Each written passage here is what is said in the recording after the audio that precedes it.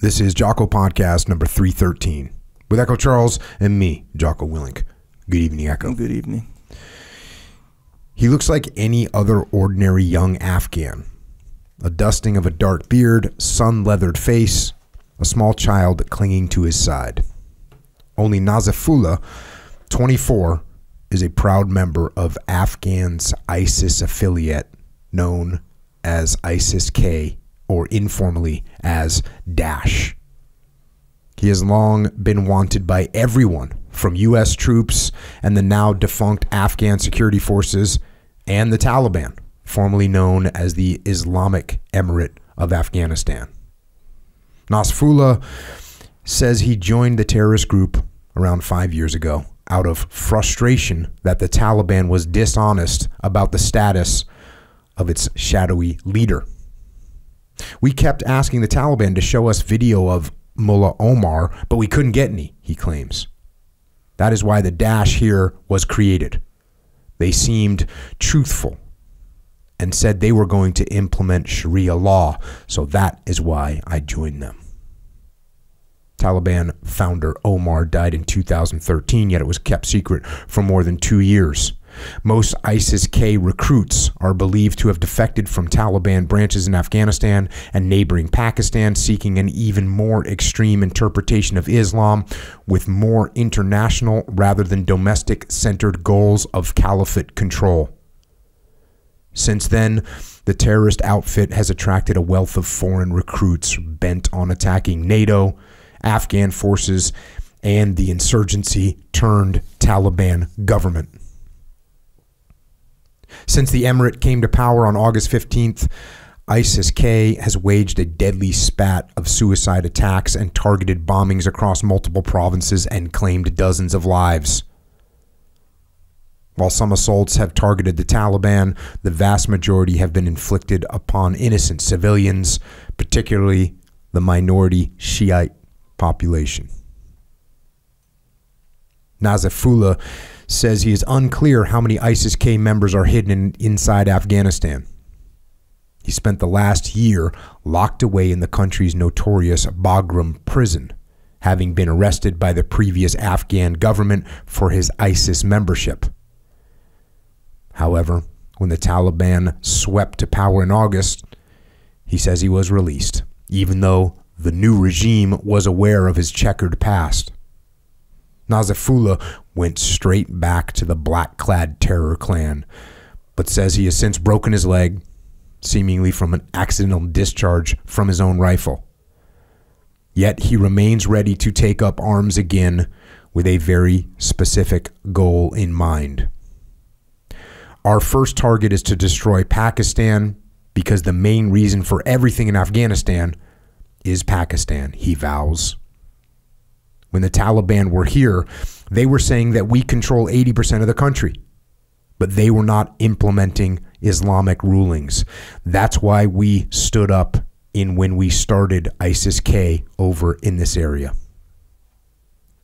Nasrullah continues, then in the parcel under their dominance, the outfit immediately began, quote, implementing Islamic rulings like cutting hands and everything. So that's when the Taliban got funding from Pakistan and started fighting us back, he claims with a big smile.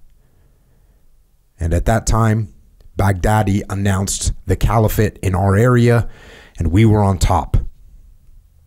That's why we are against the Taliban.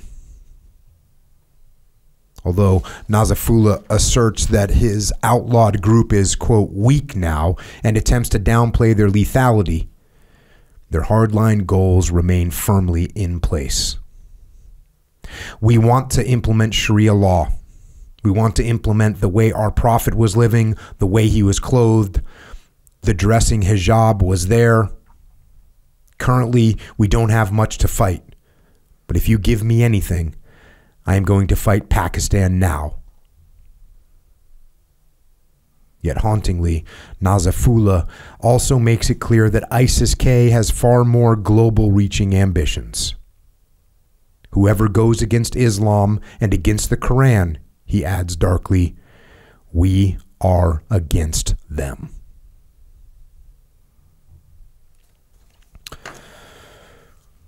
And that is an article from knews.com. The article is written by Hollie McKay. Holly is a journalist, she's an author, she's a war reporter, and she is an extremely courageous human being. She's been on this podcast before, number 271, where she talked about her experiences in the war against ISIS in Iraq and Syria, which she chronicled in her incredible book, which is called Only Cry for the Living. And she's back with us again tonight to share with us her experiences from Afghanistan. Because she was there, she was there during the American departure, the collapse of the government, and the rise to power and control of the Taliban. So, Hollie, welcome back. And I do mean that sincerely. I was watching through social media when you were in Afghanistan, and I was terribly worried about you. And we'll discuss why. I'm sure we'll get to some of that. It was definitely sketchy, to say the least. But for now, I am truly glad that you are here and you went there for a reason to learn, to capture what was happening, and you've done that. So let's talk about let's talk about what you've been through. First of all, welcome back. Thank you. Thank you for having me. It's strange adjusting. So it's been mm. a few days and I'm still getting used to no, you know, a highway without bombed and potholes and I'm like, oh, this is a nice road. Hang on a minute. yeah. um, just to set the stage a little bit to to bring you into Afghanistan when you went back when you went to Afghanistan this time, just to get where what you stepped into. July second, Germany and Italy withdraw from Afghanistan. That is the same time that America quietly and strangely left Bagram Air Base. Mm. July 8th, Biden announces that the war is going to be over and we're going to be out by August 31st. July 12th, General Miller, who is the commander uh, commander of U.S. and NATO forces in Afghanistan, he steps down. And by the way, this is right as Taliban is seizing district after district. By mid July, they had seized, you know, 140 or 150 districts inside of Afghanistan. July 21st, General Milley reports that half the districts in Afghanistan are under Taliban control. So, July 22nd, the U.S. House of Representatives they, they pass a bill for visas for our interpreters and, and other allies that were there. And the reason I bring that up is because that turned into a big deal as everything shut down. And so that's what we're going into. It's very obvious. And I forget the quote from General Milley, but it was something along the lines of everyone was surprised at how fast it was collapsing, but it was collapsing quick. So August 7th, is when you arrive in Kabul. What was your purpose in going there? Did you did you know how fast it was falling down? Did you like, hey, this isn't going to make it. I'm going to go in there anyways. What was that? What was the thought process there? So I made the decision. I think it was around May, June that I was going to go back in August uh, with my uh, photographer Jake, who's Australian, who's also spent a lot of time. He lived in Afghanistan and spent a lot of time in in other places. So we thought we would go back and document what I thought was going to be the the last month of the Americans being there, and then the Afghan government trying to stand on its own two feet. So between making that decision and what happened, it just you couldn't you could I just I did not realize it was going to happen that quickly. And so when I arrived, even that first week, I was going to meetings at NDS, which is the Afghan intelligence. I was going to meet with all these different people, and everybody was just so convinced that it wasn't going to fall immediately, at least not within, say, that month. And it's so the speed of it, and, I, and I've had to do so much reflection on this and looking back and going, where did you miscalculate? How did this sort of happen so quickly? And it really just goes to show I think nobody really had any idea at the end of the day. I think there were there were sort of intelligence failures on many different levels from many different from parts of it. I've talked about some of this. Um, if I'm a company commander and I'm in charge of training Afghan forces, I want to do a good job. And when I report to my battalion commander, and I, you know, the first, I'm wor- working with these guys for a month, and, you know, he says, How are those guys? And I say, Well, they got some work to do. They're, they're, not that great. They're deficient here, they're deficient there, they're not good at this. And my battalion goes, commander says, Okay, well, you know, get them squared away. The next month, what do I say? You know, I'm, I'm going to tend to say, yeah, well, we're making some improvements. We're, we're doing a little bit better. We've got them issued better gear. We, we got the supply issues taken care of that we were worried about. We did a, a live fire training operation. And, and so you end up just by virtue of having a positive attitude, which Americans certainly have, we end up painting a better picture than what is actually happening. I, I saw this. I, I, I try to think if I did this. I believe I did. I believe that I did in training Iraqi forces. Would sometimes say, you know, um, I would put some lipstick on, on on the situation a little bit. Again, trying to have a positive attitude, trying to look at the brightest side of what was happening, and and there was times in in Iraq where the Iraqis would take over a position and the insurgents would immediately attack it and crush them. And so we got put in check a few times. I would almost say luckily because that what that caused us to do was to be very honest about the capabilities of the people we were working with. So there is actual times where the Iraqis would take over, let's say, a, a checkpoint we'd say, "Yep, they're good to go." And this is when I say we, I mean coalition forces in general. You know, the Americans that are there said, "Yes, we've been working with these Iraqis. They can handle this checkpoint." We'd step away from the checkpoint, and this happened almost immediately upon my arrival. This checkpoint got taken over by the Iraqis, and the insurgents attacked it. A day later, two days later, they killed the American advisor that was there. Actually, two American advisors that were there overran. It was total disaster, and that happened when I first showed up. So it really put us in check in terms of okay, what do we need to be very cautious about what we report up the chain of command and when they're actually ready. But at the same time, you know, I, my guess is, and even when we left Iraq, I was very worried. I was very worried when America left Iraq, when coalition forces left Iraq. I thought to myself, they, they can't, they're not ready yet. And there's a, there's a similar, obvious similar theme here. So, almost every I never fought in Iraq in, in Afghanistan, but everyone that I know that worked on the ground with the Afghan forces were all not surprised. Hey, they weren't ready yet. They just weren't ready yet, and it's a huge. It's it's um it's almost like when you have these these elements, the U.S. support is really like the long pole in the tent. And all the other t- tent poles and the canvas that goes over the tent is and the stakes that go on the ground all those things are really really important. And you can build those up and you can make them really good and you can, they can provide you shelter from the rain and shelter from the wind. But if you pull out that one long pole in the middle it has a huge negative impact. Mm-hmm. And and that's sort of again in hindsight as I look at it. That's what that's one of the things I think happened. Yeah, I think there were just multiple things. I think even right down to the number of ghost soldiers. So on paper there might be 300,000 Afghan soldiers when there's in reality there's a, a, quarter of that because people would take commanders were taking money of people that never existed or they were dead or there was no accountability. Um, you know I can I can go into corruption for days in in how that really destroyed Afghanistan and so to drill into that corruption that you just talked let me let me see if I got this little piece of it right. Right. I'm a commander. I'm a I'm an Afghan commander.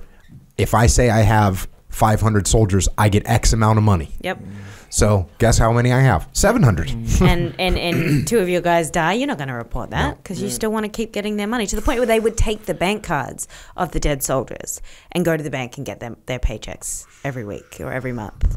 Like it, it's the level, and we can get into this, but in my I've never seen a more corrupt place on every possible level, and yet you know, we, and when I say we, I say the United States, we turned a blind eye to that for, for really 20 years instead of going to the root and fixing it. We let it fester and create this entire industry of corruption, which is what the Taliban was not only able to capitalize on, but they came in saying, well, we're not going to be corrupt. And people that don't even like the Taliban's were, were so fed up with that corruption that they were going to support that even if they didn't support the ideology.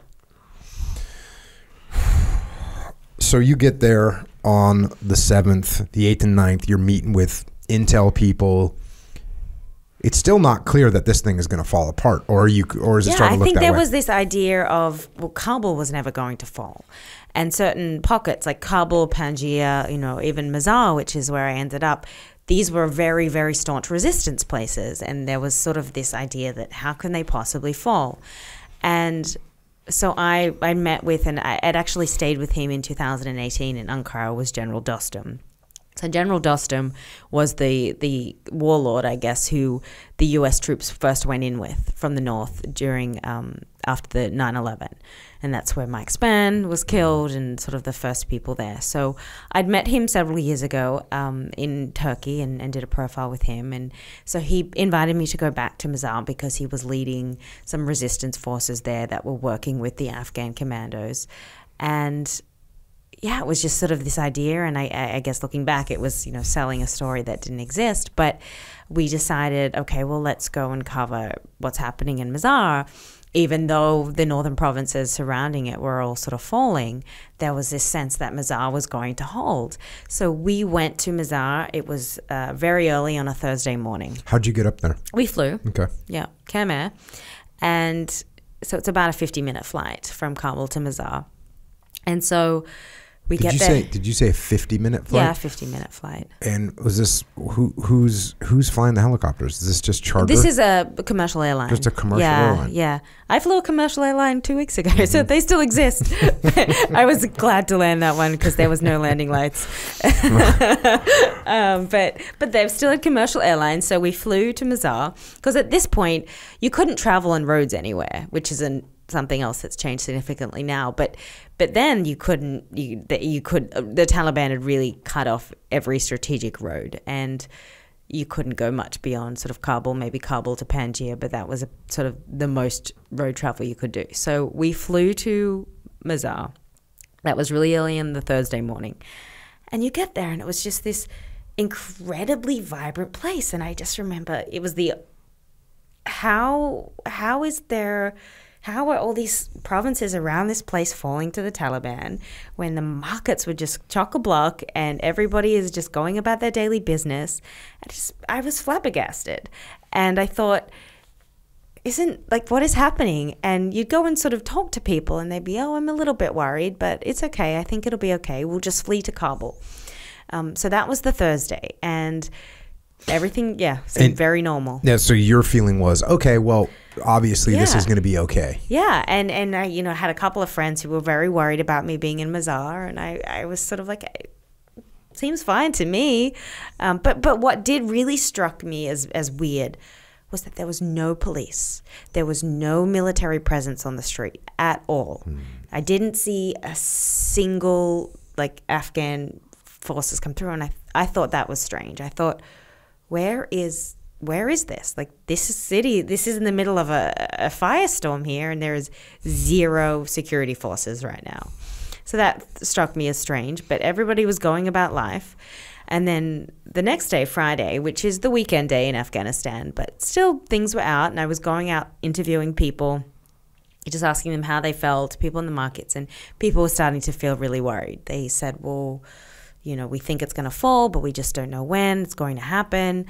And as the day progressed, you felt it get a little bit, people were becoming more tense. And we'd go to this, there's a beautiful big blue mosque, a big shrine there that's, that's quite famous. And there were just a lot of people that had fled from other villages and other provinces, and they were all sort of hanging out outside this mosque. And and by the evening things were still happening but i you know i said to jake my photographer okay we need to book this return flight back to kabul and so i get online and i'm like the earliest flight we can get is monday night and i was like i, I think it's you know i called a few people i was like is it gonna hold um, and they were like yeah you know you should be fine but but get out on the next flight you can get back to to kabul and so i, I booked the flight So you're online booking a flight, which means you're online watching news and seeing updates from other things. Yeah. And, yeah. And it's still you got the impression because I'm I don't remember exactly. I knew that you were in Mazar through social media Yeah. because you're you're like posting about this stuff. Yeah.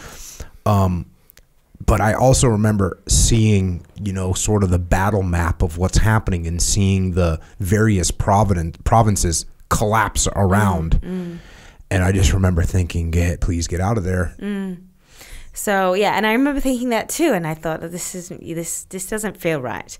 But that night we went out with the commandos, the Afghan commandos, to, and they were taking a lot of hits and a lot of you know a lot of fighting, but they were such extraordinary. And again, you know this this perhaps warped my thinking a little bit too. But you had these men who were just like, we will never give this up. They will never get Mazar. We will you know and and defend it and hold it, and just really great young men and I, we stayed out with them until about two o'clock that morning. And there was this sort of strange sense with with one of them. His name was Safi, and and he kept. You could tell how much he missed the West. He wanted us to stay and drink beer with him and, and listen to music, and he just he didn't want us to leave. He just he wanted he wanted this sense of this connection to to the West that I think that you know being trained by the Americans and just had this sort of deep love. Um, so two o'clock came. We got the guys to take us back to our hotel, and we're supposed to go out with them again at around seven or eight that morning. So we wake up on the Saturday, and I'm waiting for a call from him. He's not there. He's not answering his phone, and I thought, you know, God, I hope he's okay. This is strange. I don't know what to do, but I will just wait for him to contact me again. Um, and then we thought, well, let's go out and do some stories. And we tried to contact some fixers or interpreters that we had known lived there. Everyone had fled to Kabul. We could not find anybody. Eventually, by mid morning, we found somebody who knew somebody who said that he could he could come and be an interpreter if we did some interviews. And so we went out, and it was just suddenly this ghost town. From this, it had gone from extremely vibrant you know place to this complete ghost town. You just saw people lining up outside banks, just trying to get their money out. Um, and we're walking, and people are just fleeing from the outside villages into Mazar on those little rickshaws, and you know with all their stuff. And and we met with this interpreter, and we get into a cab, and we're driving out toward. There was three front lines, and the interpreter, who I didn't really know too well, um, is on the phone as we're driving, and it's about midday, and he suddenly he looks at me and he turns around. And he's got this big smile on his face, and he says, "Oh, they just broke through the the first of the three lines, and it's surrounded." And we looked at each other, and and the cab driver's like, "I'm really scared," because we we're sort of driving toward it, and I said, "Okay, that's fine. We'll we'll turn around and go back. It's n- no big deal." Um.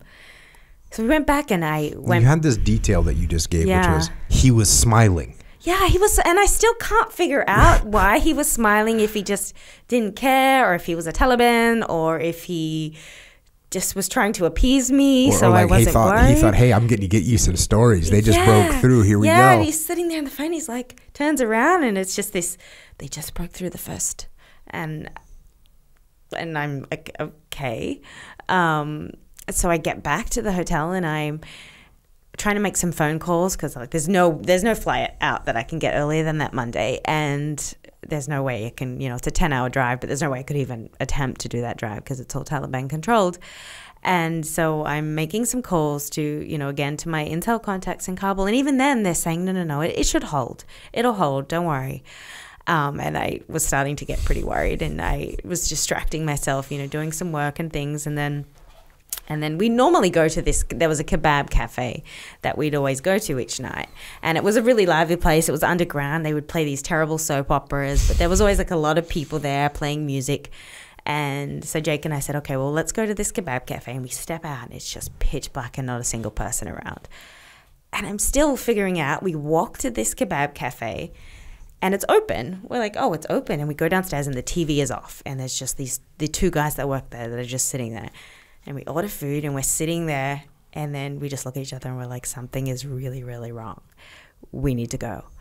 And so we get up and we start hurrying back toward the hotel. And this was early evening around seven. And then you just see these motorcycles coming in and that's the taliban.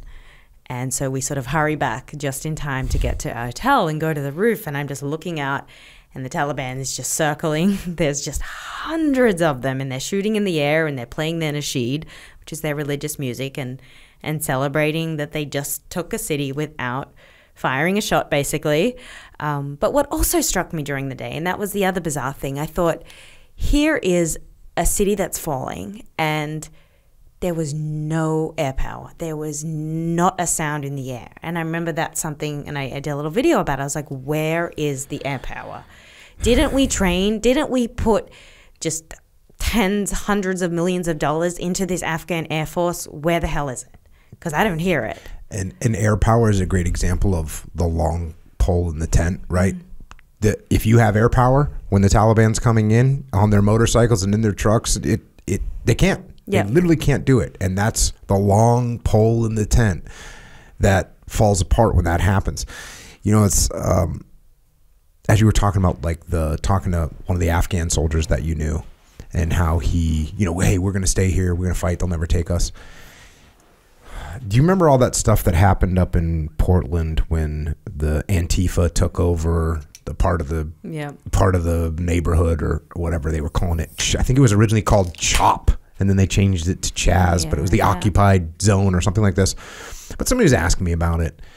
And I kind of said, hey, there's no one up there in the chop that's like ready to die for the cause. That's ready to say, you know what, we're gonna stay here. We're they're just not. They're just not up there. There's no. I mean, America, and I kind of made the comment that hey, even the people that are Antifa members, guess what? They have cell phones and they have you know like nice. They have clothing and they have running water, and it's just not that bad of a thing, and they're not right that committed to it.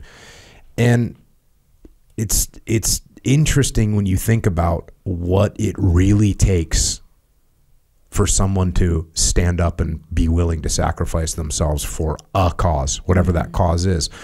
And when you look at the Taliban and you you're this Afghan person that's been fighting for however many years and you've been fighting for the Americans. You've been fighting for the Afghan government for 10 years or 7 years. And then you're like, well, it looks like we're completely surrounded if I fight, I'm going to die, or I can just kind of put down my weapon, take off my uniform, and carry on with my life. And I, yeah, and you that know? was, you know, I, and I think it was sort of the next day, well, Joe Biden came out and said, you know, these guys ran away from their posts and things, and and to a degree, I understand where that came from, but it actually it, it upset me because they were really sold out by their leadership and and I'll give you examples. So Safi, the guy that I'd met that Friday, when I was finally able to get back in contact with him after Mazar had fallen, and I asked him, "Are you okay? Where are you?" And he said, you know, he'd gone out that day, and and they just they were so outnumbered, and his three bodyguards had been killed, and um, you know, it was really the commandos that were trying to hold it. And he said by four o'clock that afternoon, somebody came to him and said, "Oh, Dostum left," and so did the commando left like all your commanders left and it's up to you if you want to stay and die or you can leave and he just he it, they were sold out yep. by everybody I, I did hear stories um, from guys that I knew that said that the Taliban would like approach a village yep. and just send a messenger in there and be like, "Hey, you know, here's your chance. We know you were, you know, you, we know you were Afghan security. Um, you can put down your guns and be cool, yep. or we're gonna kill everyone." And guys were like, uh, "Okay, we're surrounded. We're gonna die. Mm-hmm. Um, I guess we'll just yeah go back to the way it used to be." By the way, that's the other thing. It was they have sort of a lot of them had memory of what it used to be like, and it's like, okay, well, I guess we're going back the way it used to be, but it's better to do that and be alive than be dead. Mm. And the amount of sacrifices that a lot of those Afghan soldiers made. I mean, they don't, they won't even release the number of killed, but mm. it's it's well past 100,000. Yeah, I mean, there was at least 50,000 killed yeah. going into this whole thing taking place. Yeah. So it, it's not like, and, and again, there's plenty of Americans that fought alongside the Afghans and ha- had met awesome Afghan troops, just like in Iraq. You know, there was, and by the time you were in Iraq, and the the Iraqis were fighting ISIS, they were f- taking massive casualties, mm-hmm. massive casualties, going to take Mosul back. That was led by the Iraqi forces, and they took massive casualties, and they kept going. Compared to in in the Battle of Ramadi, the Iraqi forces were some of them were very scared and didn't want to take lead and definitely didn't want to take casualties. And we had whole battalions abandon and leave.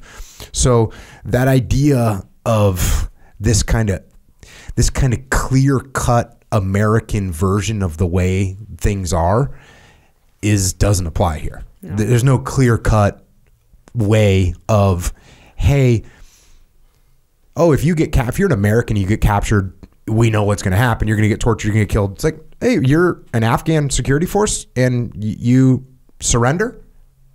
You're not sure what's going to happen but you know what's going to happen. If you don't surrender you're going to die. So and then you see your leadership all running away, all running away, all of them. and every single one of them ran away, including the president. Including the president. Yeah. Including the president, who, yeah, with that guy, that is a is an insane situation. I mean, yeah. you have that guy, Ashraf Ghani, who who is like a professor at Berkeley, a professor at Johns Hopkins, uh, went to some leadership school at Harvard, wrote the book called Fixing Failed States, which is like an academic exploration of this stuff, theoretical. It's an embarrassment. Yeah. And he bailed with a yeah. bunch of money, by the way. And and yeah, bunch of money is now under investigation. But what what I remember going back in uh, being in Afghanistan in 2017 and sort of hearing when I'd go to the the NATO compound of the US embassy and everyone would say all these great things about Ghani and I remember saying to a few people, "Have you gone out to the street just to talk to the Afghan people because they have a different idea, you know. So I think part of that problem was the US because nobody was leaving that base in the diplomacy world. They were getting a vacuum of information that was pre-approved people to enter. That were all part of this sort of puppetry stream, and they weren't actually out there talking to the Afghans who were terribly frustrated with the corruption going on, terribly frustrated with the sort of I guess the the Pashtun and the sectarianism and and things and it just the picture that was was so warped compared to the reality that I saw even back then. And that was so 2017. You're out talking to normal people, mm-hmm. and they're totally frustrated with Ghani, and yet the Americans are getting this whitewashed version yeah. of how yeah. how he's doing an excellent job. Yeah. Um. When, so it was like August 14th. So Mazar falls Kabul falls too. So that was the so that was the Saturday night. So you know, suddenly I'm like in the in this room in this hotel, and and the the locals had all fled, and there were no foreigners in there except I think there was a guy from Tajikistan who who was there for a couple of days, and someone else. But so we, Jake and I look at each other, we said, well, what are we what are we going to do? Um, you know, we're making some calls, and I'm speaking to some some DoD people in Kabul and they said, well, you know, go and get us measurements, go and get us coordinates, go and get us this and that, and we'll see if we can get you out in the morning, the early morning. And it was an interesting night. So you had, um, you had, you know, us trying to get all this information, and then the morning, and the, the Taliban's were out having a crazy, you know, Taliban party all night. Um, and so by the morning light, I thought, well, they'd gone to sleep then because they celebrated all night and they'd gone to sleep, but then you know, nobody's calling. Um, and we're just sort of looking at each other going, well, now is kind of the chance to get out in this uh, period where they're not in the street because they're going to be in the street in a couple of hours. Um, but it became very evident that just it wasn't going to happen. And then then that Sunday, we started seeing news reports that the that the Taliban's were at the gates of Kabul, and then the next thing you know, they're taking the palace. And we just sort of, I looked at, I looked at Jake when that happened, and I said, "Whoa, yeah, we're pretty much, we've got to figure this out." Were you feeling, were you feeling threatened with when the Taliban showed up? So the images that they were portraying of the Taliban was uh was like a, a kinder, gentler Taliban was coming in, right? It was right. like you said, it was it was like celebratory. Yeah. It didn't look like a angry mob. It looked like a happy mob that was celebrating and that that was sort of the images that we got initially. Then it quickly turned into images of people being people being killed, people being murdered. Um, but what was your initial impression?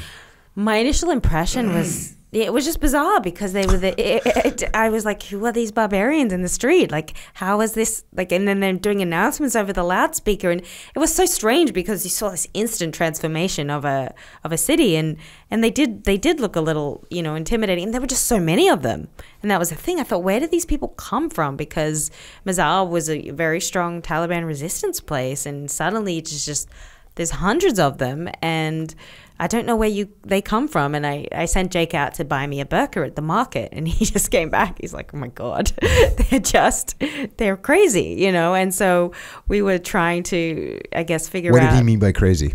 He just like they're they're they're just everywhere. Okay. And they just you know that they literally have sort of the dominance of, of every corner possible in the city, and that was their strategy. I think in the very beginning when they took places, they just flooded it with fighters to make sure that they could hold it. Now, a normal person would like concentrate on hiding and getting out of there, but you kind of focused on let's go interview people. So not not quite. So I, I mean, at first I went a little quiet. I was like, I don't know. And I was trying to pretend to my parents I wasn't in the city because straight away my dad's like, "We just heard on the news Mazar's fallen. Are you there?" I said, "No, I'm outside the city." um, so I was trying to yeah to trying to appease them a little bit, but uh, so I was a little unclear, um, and and what sort of had concerned me at that point was I know that first night that they came in, and there was a bank underneath the hotel. So they were, so the Taliban's were desperately trying to get into the hotel where we were, and we knew that we were the only foreigners in there at that point, and and these incredible hotel staff had sta- stayed there for us, and they were terrified because they'd all been former NDS or previously worked in different capacities with the Afghans, and I knew that they were desperately wanting to to go home to you know safety or flee or their families, but they really stayed there for us, and that was um, just something that I thought was just extraordinary, and it goes back to that Afghan hospitality and, and care. Um, so we were there, um, and sev- several days are going by, and the focus was to get out, but it just it became so, and I, my phone was just blowing up with so many different people telling me do this, do this, do this, and I was just like, you all need to leave me alone at this point, please, because it's not helping. Um, and I said to you know the U.S. people that I was speaking to right from the beginning, I think the only way is you go and talk. Like I need to go and talk to them to get their permission to leave because there really wasn't another way. There wasn't really a way that I felt that I could sneak out mm-hmm. or you know go under the radar, and yeah, that was that was what I was pushing for from the beginning. So that was sort of my focus in in doing that. So it falls on like the 14th, 15th, and you spend the next few days trying to figure out. What the best course of action is. And so, what did you finally figure out? So um, yeah, we I talked to, to so many different people, and I thought you know any sort of rescue, any whatever is not going to happen. So I talked to a couple of diplomats, and then I talked to um, sort of I guess a middle person who was a, a, a Afghan business guy, and so it was very very quick. And then he sort of said, "Well, I'll come to the hotel." Um, and you know, be ready at this time, and they teed some things up with the Uzbek consul, which was closed, but they were able to kind of get it open. So next thing you know, I'm dragging my stuff down, and the two people that come to meet me as my drivers are the two Taliban elders. You know, the cousin of the his shadow governor turned new governor. So you see these sort of old Taliban guys, and and I'm getting into the car with them, and they were like, "Welcome."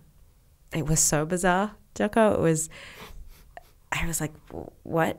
Uh, hi," um, because at that point we really didn't know. Well, it's I just guess you and Jake getting into this yeah, car? just Jake and I getting into the car with the Taliban's, and we didn't know at that point, you know, how they were going to treat a foreigner, how they were going to treat a woman, how they were going to treat a journalist, um, and so yeah, they they drove us through the city, and I so I said, "Do you mind if I have a talk to you and ask you some questions?" And they said, "Sure," and.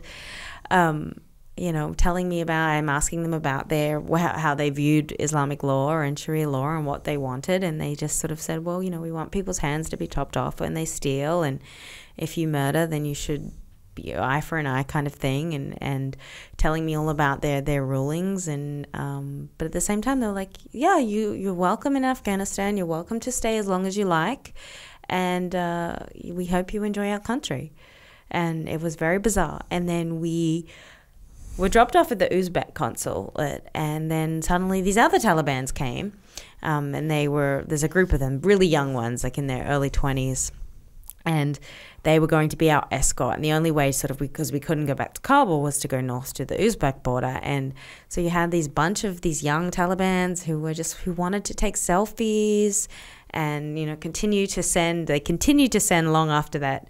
My photographer, you know, selfies of themselves with you know Urdu music in the background and love heart emojis. it's, it's literally the most bizarre thing you could imagine. I know. I was looking at pictures um, on some of your articles. You have Yeah. pictures of these Taliban guys, like with their iPhones or whatever, Yeah. out there doing selfies. Yeah. It's freaking and for all they social want, media. yeah, and they and they harass and and I know with there was a couple of other photographers that I know and they harass poor Jake and other other photographers get harassed for their photos. So if you take a picture of a Taliban's, oh, I need your WhatsApp, I need your WhatsApp, and, get, and then, then they just harass and they want pictures of themselves. Like it's just it's so new to them. These are people who were in hiding in the mountains for twenty years, and then suddenly. They're like out and free and kind of a spectacle. It's it's very bizarre. How does selfies and Instagram match up with Sharia law? I'm not sure about that one. I guess it's it's it's, it's too new for Sharia. Maybe How does that work? they haven't put a ruling on it yet. Um, man, that's crazy. Um, so you were you at any point? At what point did you go? I think I'm going to be okay. Did the old Taliban make you feel that way? Did the young Taliban make you feel that way? I think. Well, I did, I did feel like I was going to be okay even when I was stuck in the hotel. I think the first night I was a little bit. Well, you you had a, a normal sense of fear, I guess. I certainly I didn't panic, but I I was a little bit thrown. This wasn't in the plan. Um, at all. And but what- actually, it's the small things that make you feel good. I remember this this young man from the hotel came up to me and he said, and he put the manager of the hotel on the phone to me, the owner, and the owner said to me, "Don't worry, I've already talked to the Taliban's and they promised not to enter the hotel." And I thought that was just like Christmas. It's like thank you. And I just, even though I didn't know whether that was true, whether they were mm-hmm. going to honor that, which they certainly weren't because they were trying to get in, but it was like just what I needed to hear at that point to give me that sense of calm that I needed to to focus on on what it is I needed to do. Um, in Mazar, I saw I saw images, and it was pretty prominent in, in the news back here. Sort of as Kabul fell, like uh, let's say there was like a women's clothing boutique, and then they'd show up the next day and it'd be gone, or it'd be now whatever selling shovels or something like that. Did Mazar go through that really rapid transition from like more Western influence just to boom overnight? All of a sudden, Yeah, it was very overnight, and mind you, that was that was self censorship. That wasn't the Taliban going around telling them they had. yeah, to- that was to me show- going, oh, yeah. you know, I'm not going to be selling these Yeah. women's Yeah. freaking bikinis anymore. We're shutting it down. Yeah. Yeah. So, it- yeah, Mazar really was just this drastic. What, what I found fascinating was the, the clothing transformation. So, you see people, you know, walking around in Western jeans or whatever it is, and then suddenly everybody's in Afghan dress mm. and very, very traditional. Um, and that was sort of the bizarre thing. And it took a couple of days before I saw a woman again on the street. And when I did, she was always in a burqa. So that was very, it, was, it, it- really felt like you went from one civilization and then you just plunged back a, a couple of hundred years overnight. And even just, there were these messages coming out of the speakers, which I'd never heard before in Mazar either. So the same speakers that they used for the call to prayer were suddenly delivering messages you know, sort of town hall messages to people, you know, telling them that, um, you know, if anybody steals from them or anybody does anything, then they're to call this number or come to this place to report it. And so you have this immediate sense of the Taliban's trying to to govern suddenly. But yeah, it was so drastic that that transformation. So, you, how do you get up to the Uzbek border? Just driving up there? the Taliban's. So the Taliban's took us. I know. so the Taliban's take us to the Uzbek border, which the Uzbek border is closed, but the, again, that the uh, you know some uh, a couple of really amazing diplomats in in Tashkent, which is capital of Uzbekistan, had made arrangements with the Uzbek consulate to open the border, which I actually found out I didn't even need because both of us had Australian passports and we didn't need a visa for Uzbekistan, but Americans do. So I could have gone anyway, I guess, but they had to open it specially for us because it was closed. Because the night before, when Mazar had fallen, or the the nights before, when Mazar had fallen, the, the soldiers flooded that border because they had oh. nowhere else to go. So they really flooded that border, and you drive along the way and you just see all the you know the American vehicles and the Humvees and everything just abandoned and left behind, and the weapons still lying on the road, and the, the you know the fatigues and And these were just Afghan soldiers these that were, were, just fleeing. Afghan soldiers that and they were just going for. Uzbekistan. Yeah, because that was the closest route that they could go to get out. And so I think they let a certain amount in, and then they just shut the border. How hard was it if I was a corporal or a private in the Afghan army and the Taliban's coming? How hard is it for me to be able to like take off my uniform, grab some traditional clothing, and leave and get away with it? You wouldn't be able to get out of the country. I mean, they weren't taking anyone. And how about my identity as far as hey, I'm just gonna go back to my home wherever in this village and just kind of take up life as a normal Yeah. farmer or whatever. I mean, you could go and do that. I think eventually they'd track you down and not. And I think this was also a bit of a misnomer that happened in the beginning.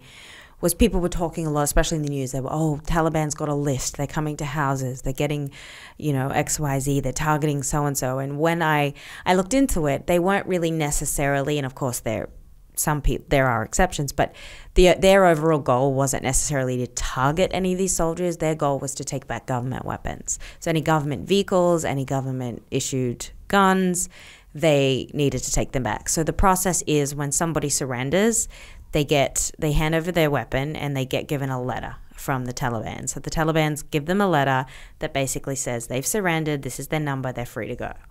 Um, so you know when Taliban's approach some of these soldiers, you know they either have to show the letter, and if they don't have the letter, then the Taliban's will want to know where their weapon is and and and what they're doing, kind of thing. So yeah, it was it, muddying. Okay, so you now you're in Uzbekistan. You get there by what August twentieth? You're in, in Uzbekistan. Yes, around yeah August twentieth. So at this time, it's getting cr- it's getting crazier in Afghanistan. You got Biden, and Biden is now on August twentieth makes his promise that all American citizens are going to be brought home. August twenty third, the CIA director William Burns meets with the leader of the Taliban, um, or one one of the leaders of the Taliban, well, co-founder of the Taliban actually, to start talking about how we're going to withdraw. That starts to happen. The withdrawal starts happening um, August 26th. Uh, that's when this attack happens. Um, kills 13 U.S. military personnel, 11 Marines, one one Navy corpsman, one American soldier, about 70 odd Afghan 180, civilians. 180 that went up to. 180 Yeah. That happens on August 26th.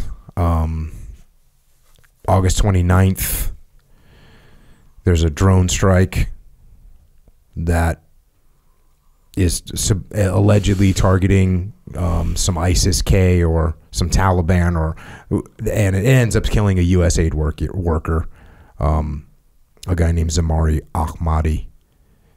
Kills him, two other adults, and seven kids. Um, August 30th, there's some rocket attacks, uh, but August 30th is when the last U.S. planes leave Afghanistan. The Taliban rolls into the airport, just rolls into the airport and declares victory. And so that there it is. Now the Taliban's in control. At which point, is this when you go back in? Yeah. So I was working between Uzbekistan and, and Tajikistan, and I would have gone back or tried to go back a little earlier, but but when I met with these diplomats, um, you know, one of them sort of said to me, and he had said, you know, because he was sort of involved in being, a, you know, putting me in touch with the middleman to leave Afghanistan, and he sort of said, you know, I've been doing this for 30, 40 years, and been in many war zones, sort of working, and he said, I've never felt more terrified when then I basically handed you over to the Taliban to get in their car to leave. And he said, I just, I was so relieved when you were okay. And I, out of respect to him, I didn't want to go back in straight mm. away.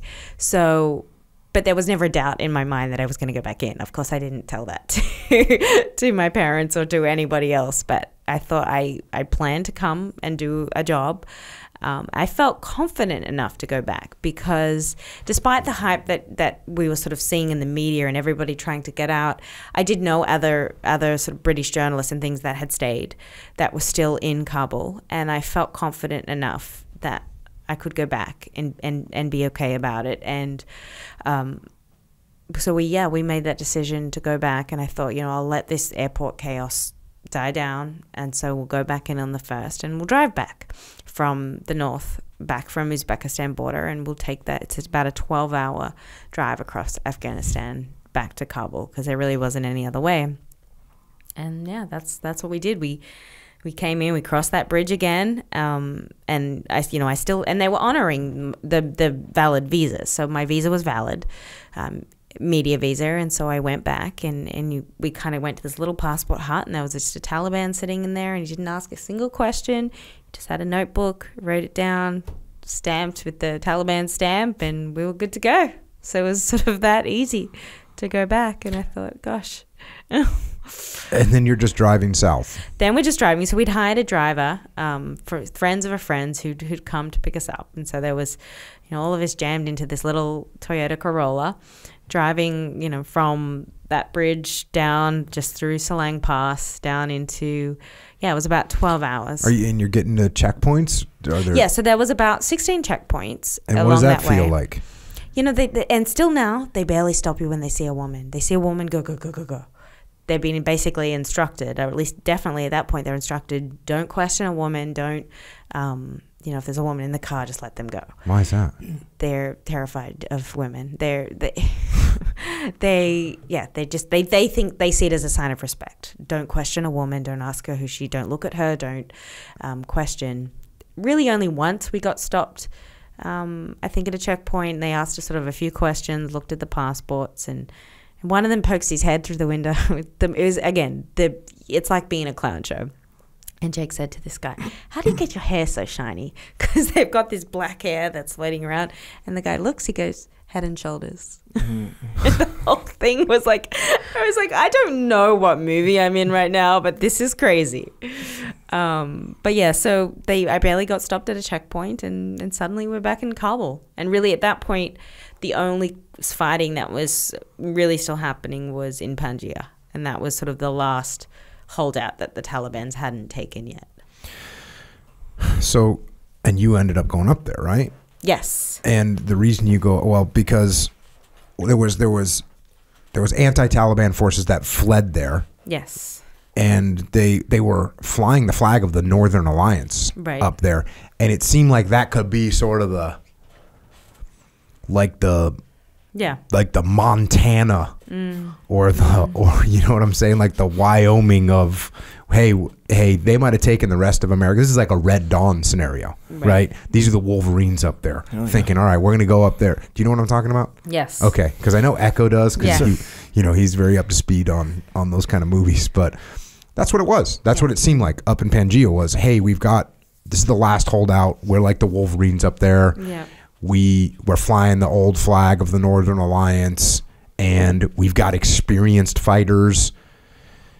You're hearing that story. Did you, looking at it, think that they could hold out? So I was hearing a lot of information. People were going to do this, this, this, and this. And I've spent a lot of time in Panjshir previously, and I knew that there was a lot of great fighters, great guy, you know, people that that fought during the Soviet occupation, and that was the only place the Taliban's never controlled during their reign in the nineties. They never got Panjshir. That was the one place. So they certainly had this this mentality to hold, but at the same time, all the young men that I knew that had lived there had all fled to France, all of them. And I'm thinking, why have you fled to France? Why have you fled to France? Like, you should be here fighting for your province. Like, what is going on? So I was a little skeptical, to be honest, because I was hearing, especially from eh, contacts of mine in the US who were like, we're going to send them weapons and get this. And, and I remember just sort of thinking, I, I don't I don't know if I'm buying this right now. So we decided, um, yeah, I was like, I need to get in, and and there was still this debate going on: has it fallen? Has it not fallen? Because the Taliban's were claiming in that sort of first week of September to have taken it, but then the NRF, as they're known, the National Resistance Front, were saying, no, no, no, we're still were still in control. And so nobody could figure it out because nobody could get in. The Taliban's were not letting anybody go into the province. And there's really terrible cell service there. It's just, it's always been terrible cell service there. So, especially if you're in the mountains, you're not going to be able to report back.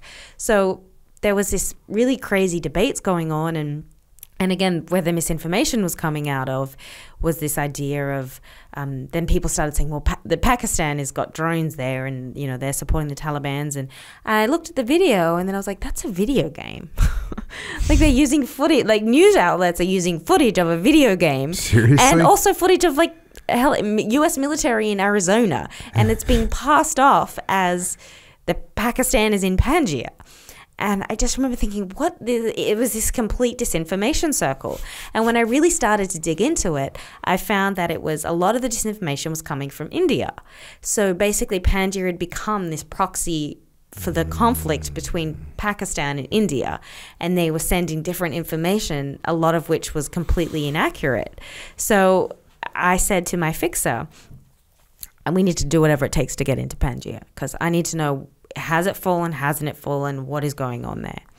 And so he was able to make that arrangement, and we were sort of the first journalists that were able to get in and, and go through all eight districts. And that was about, that was on, I want to say it was about September 9, I think I did, we went to Panjshir. Um, and did you drive up there? Yeah, we drove. So it's it's not far from Kabul. Mm-hmm. It's about an hour and a half and then we we get there and it was very heavily fortified by the Taliban and, and we get in and immediately it was very clear to me the Taliban had complete control of it. Um, even even yeah there was just so much mis- misinformation. Did you talk to any nrf fighters? Yeah i did. And most i was watching them surrender from the mountains and and they were coming down and handing their guns over to the talibans and the talibans were giving them the letter mm. and off they were going and they were leaving. And honestly, and and I got so much heat for this, but it, you know, you can only re- report what you see and hear. There really wasn't a fight. There wasn't a big fight. A lot of that was exaggerated. There was not a single amount of damage that I saw anywhere in that main street. Uh, not to say there wasn't fighting in the mountains, but I, I didn't. I heard one rocket launched that entire day that I was there. The leadership had fled. They'd already left. Um, and I just think that was just sort of, and I still hear it now about you know people going around trying to get weapons, trying to you know, uh, it's not there. It doesn't exist the way it existed thirty years ago, and again goes back to so many of them that I knew they're not in the country anymore, but you know, and, and it was crazy. I got so much heat for simply reporting there really wasn't was a fight happening? here. And the, the diaspora just came after me, and people, you know, I just I'd never experienced that kind of backlash just from reporting a story. Um, so I was I was kind of relieved when you know some friends of mine from Wall Street Journal and New York Times and things they went in a couple of weeks later and reported the same thing. Mm. So I was like, well, okay, I'm not crazy. um, yeah. yeah. that's uh, the the uh, when you talk about the the folks that you knew that went to France? Like, well, give us a little bit of background on that. Well, it was just in that initial evacuation period. Just a lot of the young fighters that I knew that they France was France was very close with with the Pangiris and and um, Ahmad Shah Massoud, his wife lives there, and he spent a lot of time there during his time, and so they have a very close relationship. And the French is are very aligned with the Pangirs, so they were mostly able. A lot of the men were able to get, um, I guess, SIVs to go to mm. France in that evacuation period, and, and a lot of them took it and off they went. And um, so, yeah, I don't doubt there was certainly a fight there, but I just think it was really blown out of proportion in terms of any ability to to take it. And it was very clear the Taliban had full control of every single of those districts. So you spend what? How long were you up there for a day? Yeah, up so there for a day. You spend a day up there, and now at this point now the Taliban is forming their government.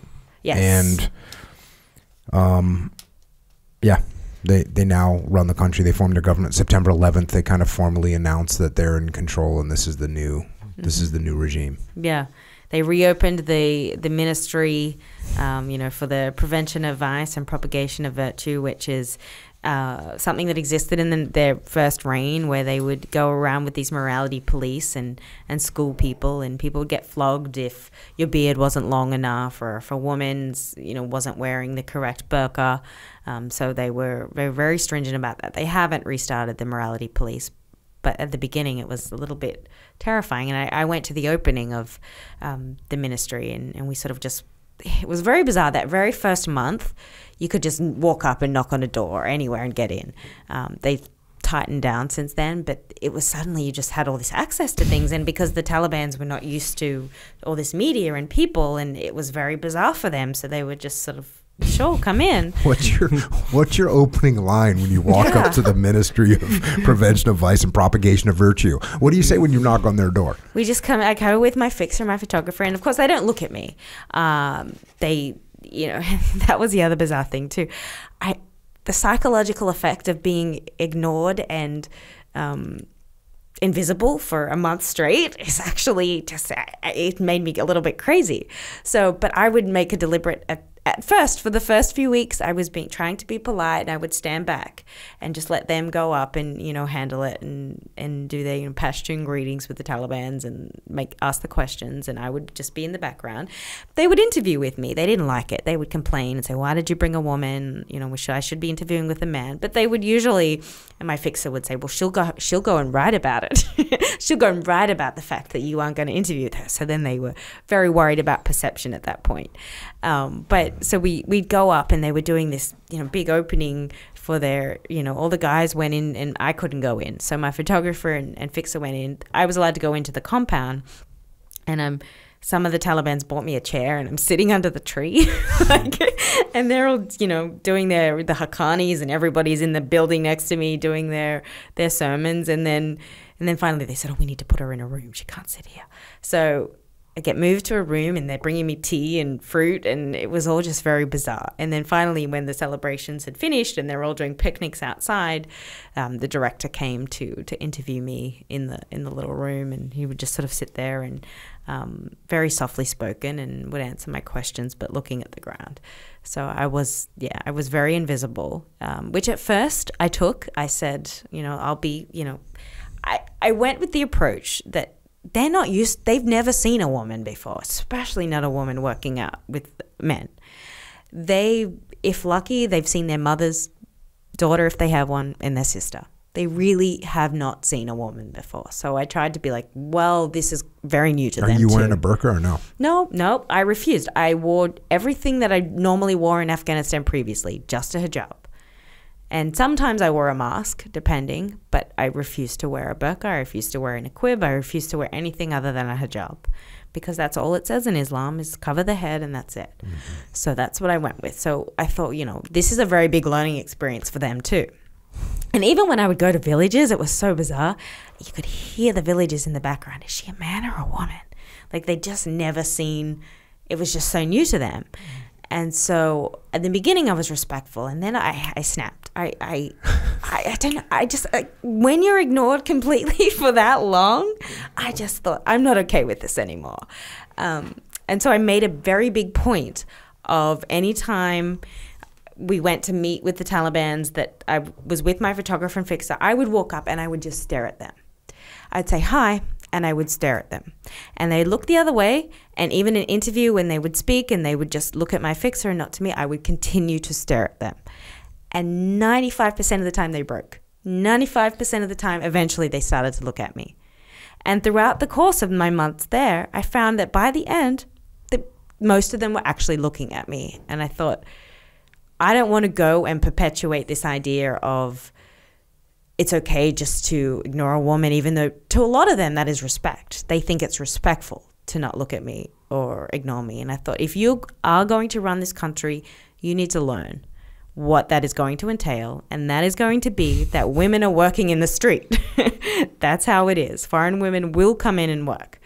Um, so it was just an interesting social experiment. But I could, yeah, staring at them. when so they there was like a back. line because you know earlier earlier you said you know that when the Taliban would they wouldn't look at you and you were like oh in the cars they would Yeah. just wave us through checkpoints because it's a sign of respect but then when you're actually trying to communicate with them and they're just not even looking at you were they were they afraid Yeah, it's just what they're taught. They're taught to never look at a woman. It's just it's indoctrination that it's disrespectful to, to look at it, at a woman that's not your your own wife or your mother. That's the way that they're they're taught.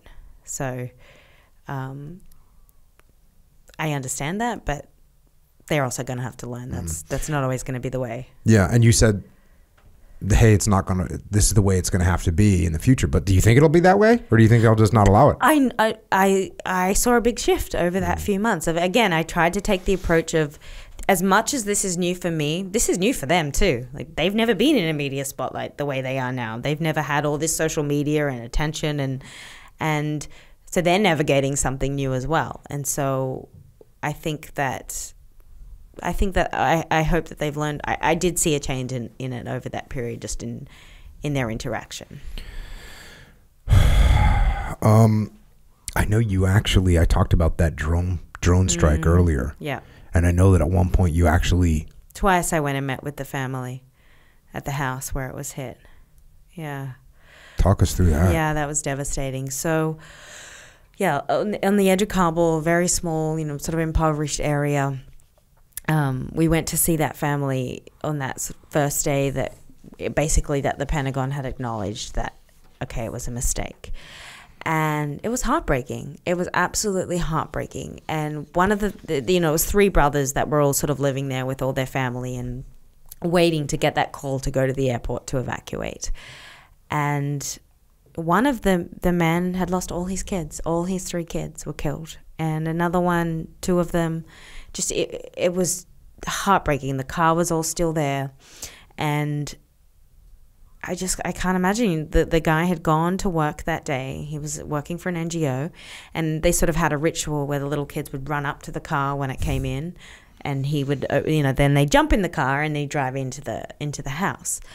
And so he came back in five o'clock that afternoon, and that's when the drone hit. And the kids had all sort of ran out to get the car and jumped in, and that's when they were hit with the drone. Um, and it was just it was devastating. You know, the the mothers who just who could not speak, and I went back to follow up uh, with them um, a couple of I guess it would have been in November, so late November, so recently, and I, you know, I said, has has anybody? Because there were reports that you've been compensated. The the U.S. was going to give them compensation and also speed up their visas to come because some of them did qualify for SIVs and had applied for them before the evacuation, so before any of this had happened.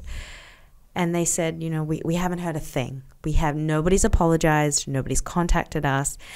And in, in the US kind of saying, oh, we're going to give these people com- pump compensation, it endangered them further because then people around thought, well, these people have money now, mm-hmm. and, and you know, and, and crime in Afghanistan is terrible as it is, and so suddenly these people were under an extra layer of threat on top of it. So. I don't know what sort of happened, if anything's transpired over the last couple of weeks. I tried to put them in touch with a, a rescue organization that was going to help them get out and speed up, and they said, "Oh, you know, we're supposedly in contact with some lawyers in DC, but I don't know that anything ever came out of that either, or you know, if they were able to get out." But it was really just heartbreaking and in many levels. And and what's fascinating is that they weren't bitter people. They were not. They were not angry at the U.S. They were not. Um, you know, they didn't want to try to get revenge. They want to come to the U.S. You know, they still wanted to come and live here and, and get out of Afghanistan. But yeah, I, I just hope that, that that case isn't lost. Is there any news or information about the sort of intel thread that led to that drone strike? I mean, only from what I've read out of reports was just it, it seemed like a, I guess, a perfect storm of fire. Really, it just seemed that. And again, I'm still trying to understand. It was like you were targeting a Toyota Corolla. Well, seventy percent of the cars in Kabul are Toyota Corollas. Mm-hmm. So I just think it seemed like a perfect storm from many different levels. And I think the US was in panic mode at that point, having had the airport attack a couple of days earlier and was so terrified that this guy who was pulling water out of his car was pulling explosives out of the car. And eh, yeah, it all just seemed to come together without, I guess, the correct due diligence.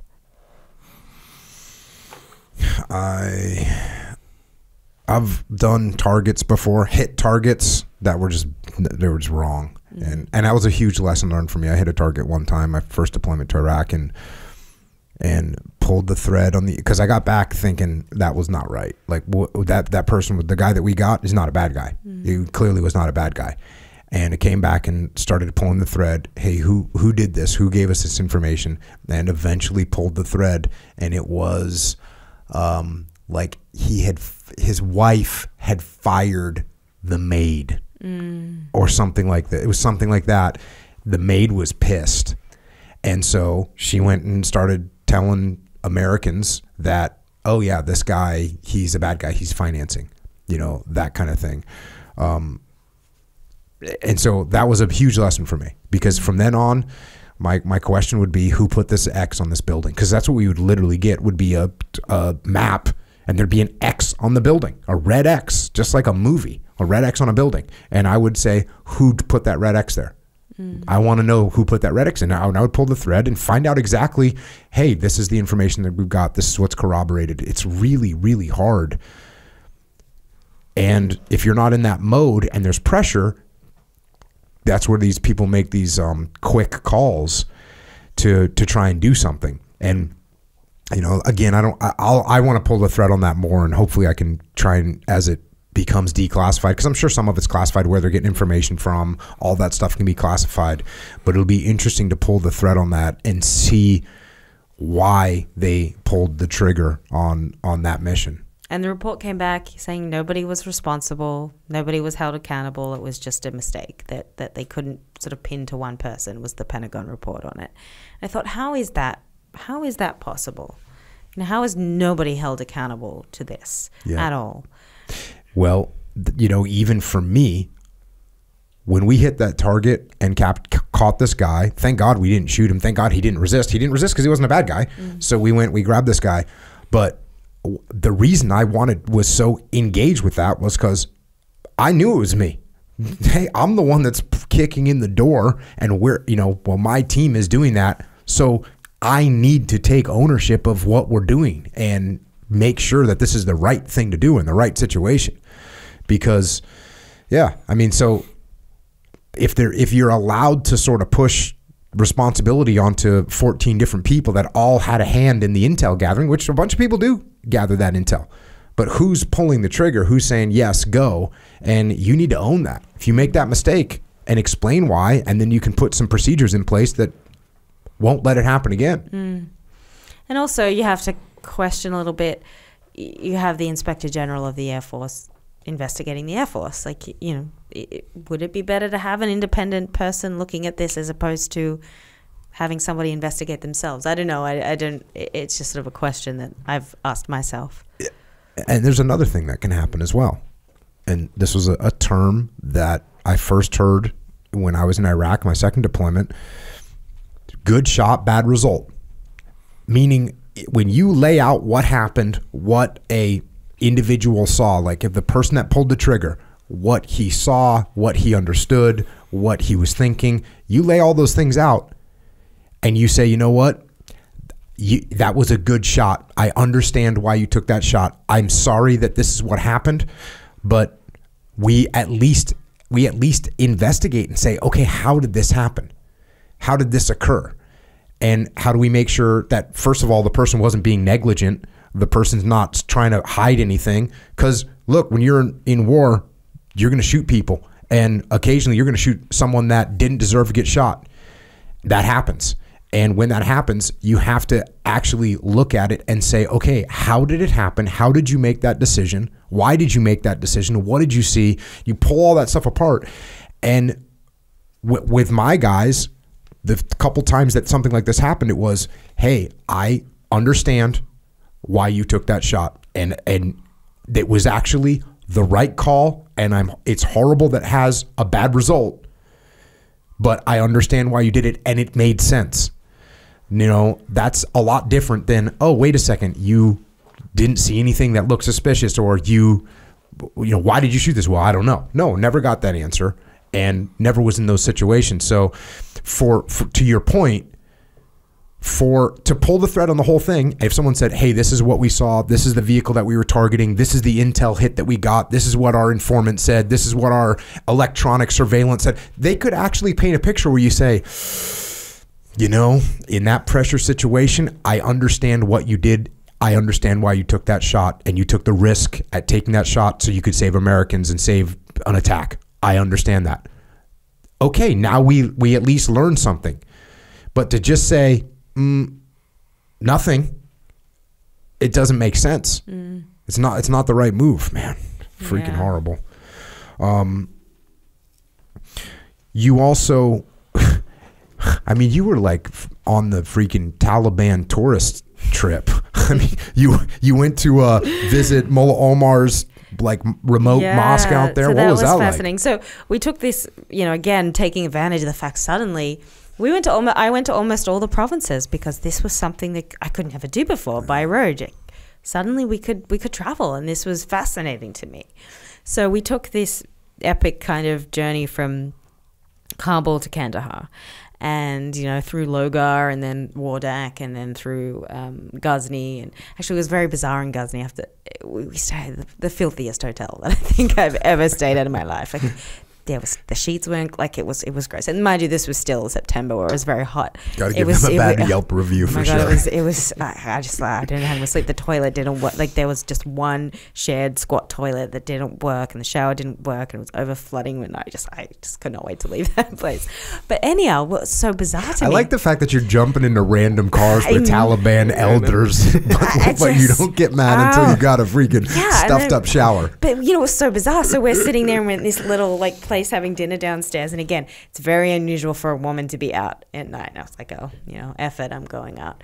So I'm having dinner with you. It was my driver, my fixer, and um, my photographer, and then a bunch of Kandahari Taliban's come into the restaurant and sort of sitting there and and staring and doing their, you know, asking a few questions and went about their business. But anyway, I found out the next day, which was very strange. The hotel the, the and because I have to stay separately to the men. So the guys all shared one room, and then I, as a woman, I have to have my own room. So I was on the other side, um, and then these Kandahari Taliban, so bizarre. They stayed. They were traveling through, but they stayed that night because they heard there were foreigners there, and literally like stayed outside my room that night to make sure nobody came in, which was just bizarre. In a way, it kind of goes back to their Pashtunwali hospitality, wanting to make sure nothing happened to the foreigners.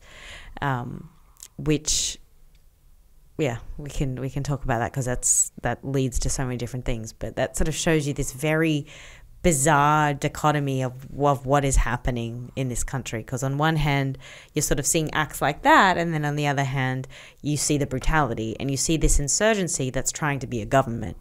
So yeah very bizarre but anyway, we continued to go through to Kandahar, which is the birthplace of the Taliban's.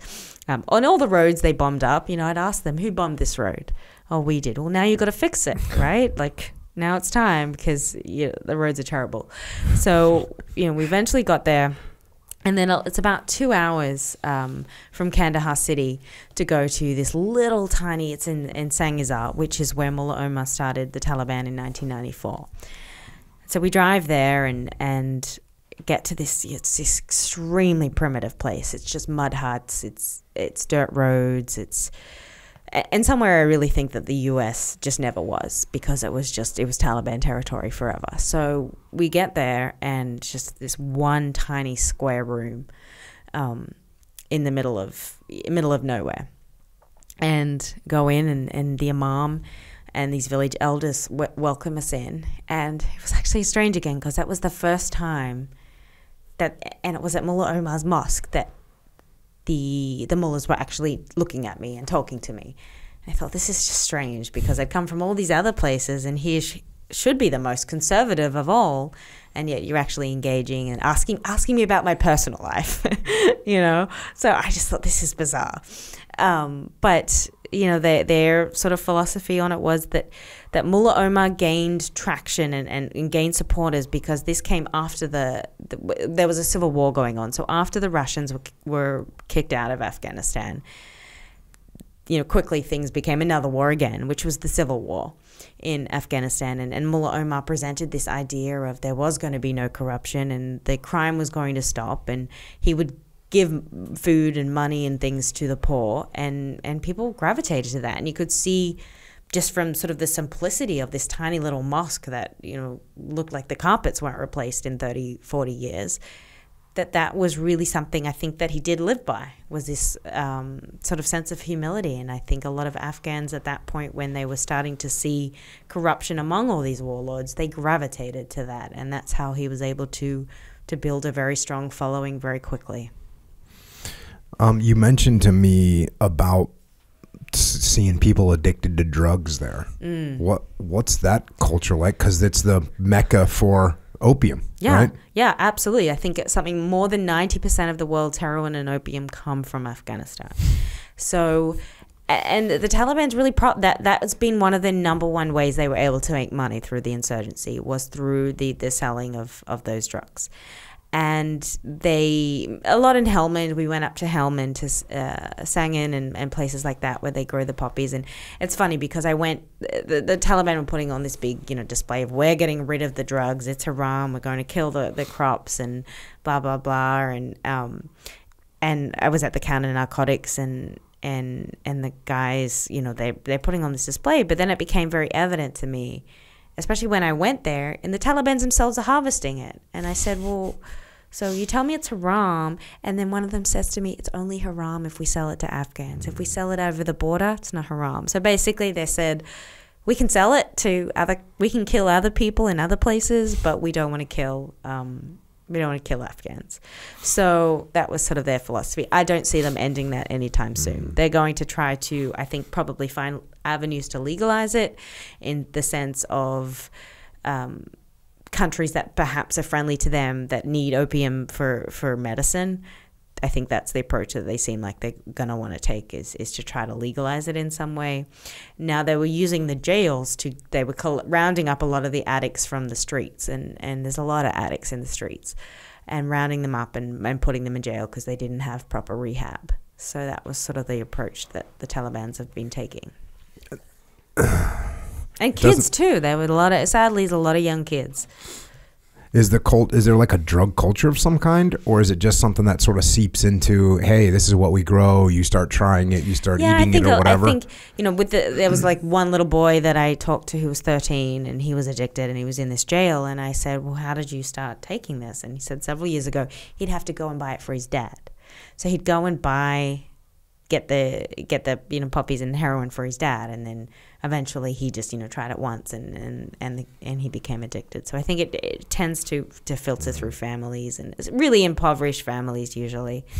Um, so yeah just now you eventually do get like uh, detained and kind of accused of being a spy right? What happened oh my that? gosh. So that was also in kandahar. So what happens is as a journalist so just to, to go back a little bit. So when you get to the country as a journalist you have to go to the, the ministry of information and culture which is sort of like the ministry of foreign affairs. And they check your credentials and give you a mujahid zabihullah mujahid who's the spokesperson basically gives you a signed letter that says you're accredited journalist to be able to work and, and you flash that letter. So when I'm going through a checkpoint or when I'm going to try to do an interview, I flash my Zabihullah letter and they say, okay, she's pressed, she can come in or whatever the situation is. So, and when you go to a province, you have to, the protocol is you're supposed to go and inform the Minister of Information and Culture that you were there so that they know that you can get through checkpoints and you're not going to get arrested. So in Kandahar, that's exactly what we did. We went to the Ministry of Information and Culture and did an interview with him about blah, blah, blah.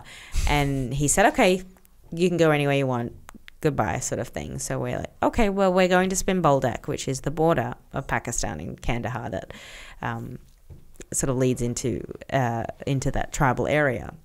So into Quetta. So we go down to Spin Boldak and there's just people everywhere trying because the border is mostly closed and there's people everywhere and instantly I just get mobbed like absolutely. I'm talking just just uh, flooded by hundreds of, of people that just surround me and I'm you know with my fixer I'm like don't don't leave me because these people are gonna mob me. So I'm trying to do an interview and just you just get mobbed. It was it was crazy and and the tele- is this because you're Western? Yeah, yeah. I guess they saw they saw a camera and then they saw a female oh. and they thought, okay, journalists. Everybody sort of they're curious. They want to tell their story. But what was bizarre, Jocko, is the Taliban's were flogging them, like whipping these guys to get them away from me. And I was like, please stop that. Like I don't want to be responsible. they just continued to to follow. I was like, "You're just getting whipped," and I was upset about it because I didn't want people getting hurt. And I was just why why are you not leaving when this is happening? It was bizarre. And so what ended up happening was it just it got to the point where it was so much there were just just people everywhere and just What, what was the closing uh, in on me. This town was like what? Who? What, what kind of town was this? Was it like, like a super It's a border town? town, border town. So it was just a border crossing. So it was a small bit, bit just so many people. But they were just freaking hyped to see you. Just, just, just. it was the craziest thing, and I, I mean, you have that a little bit, but this was a whole other level where I just thought, oh my goodness, like what is happening? Um, and I couldn't go anywhere, and I would try to grab people to interview them into a store, and I'd look out the window, and suddenly the store was just surrounded. It was so crazy, and. I said I just I didn't I, and the and so the Taliban's were coming along asking questions what is happening and we tried to call the driver and we had this funny driver called Shafiq and he um he always likes to eat and every time he goes he tries to find eat and suddenly Shafiq's not in the place that he we left him. Shafiq had gone off to get food.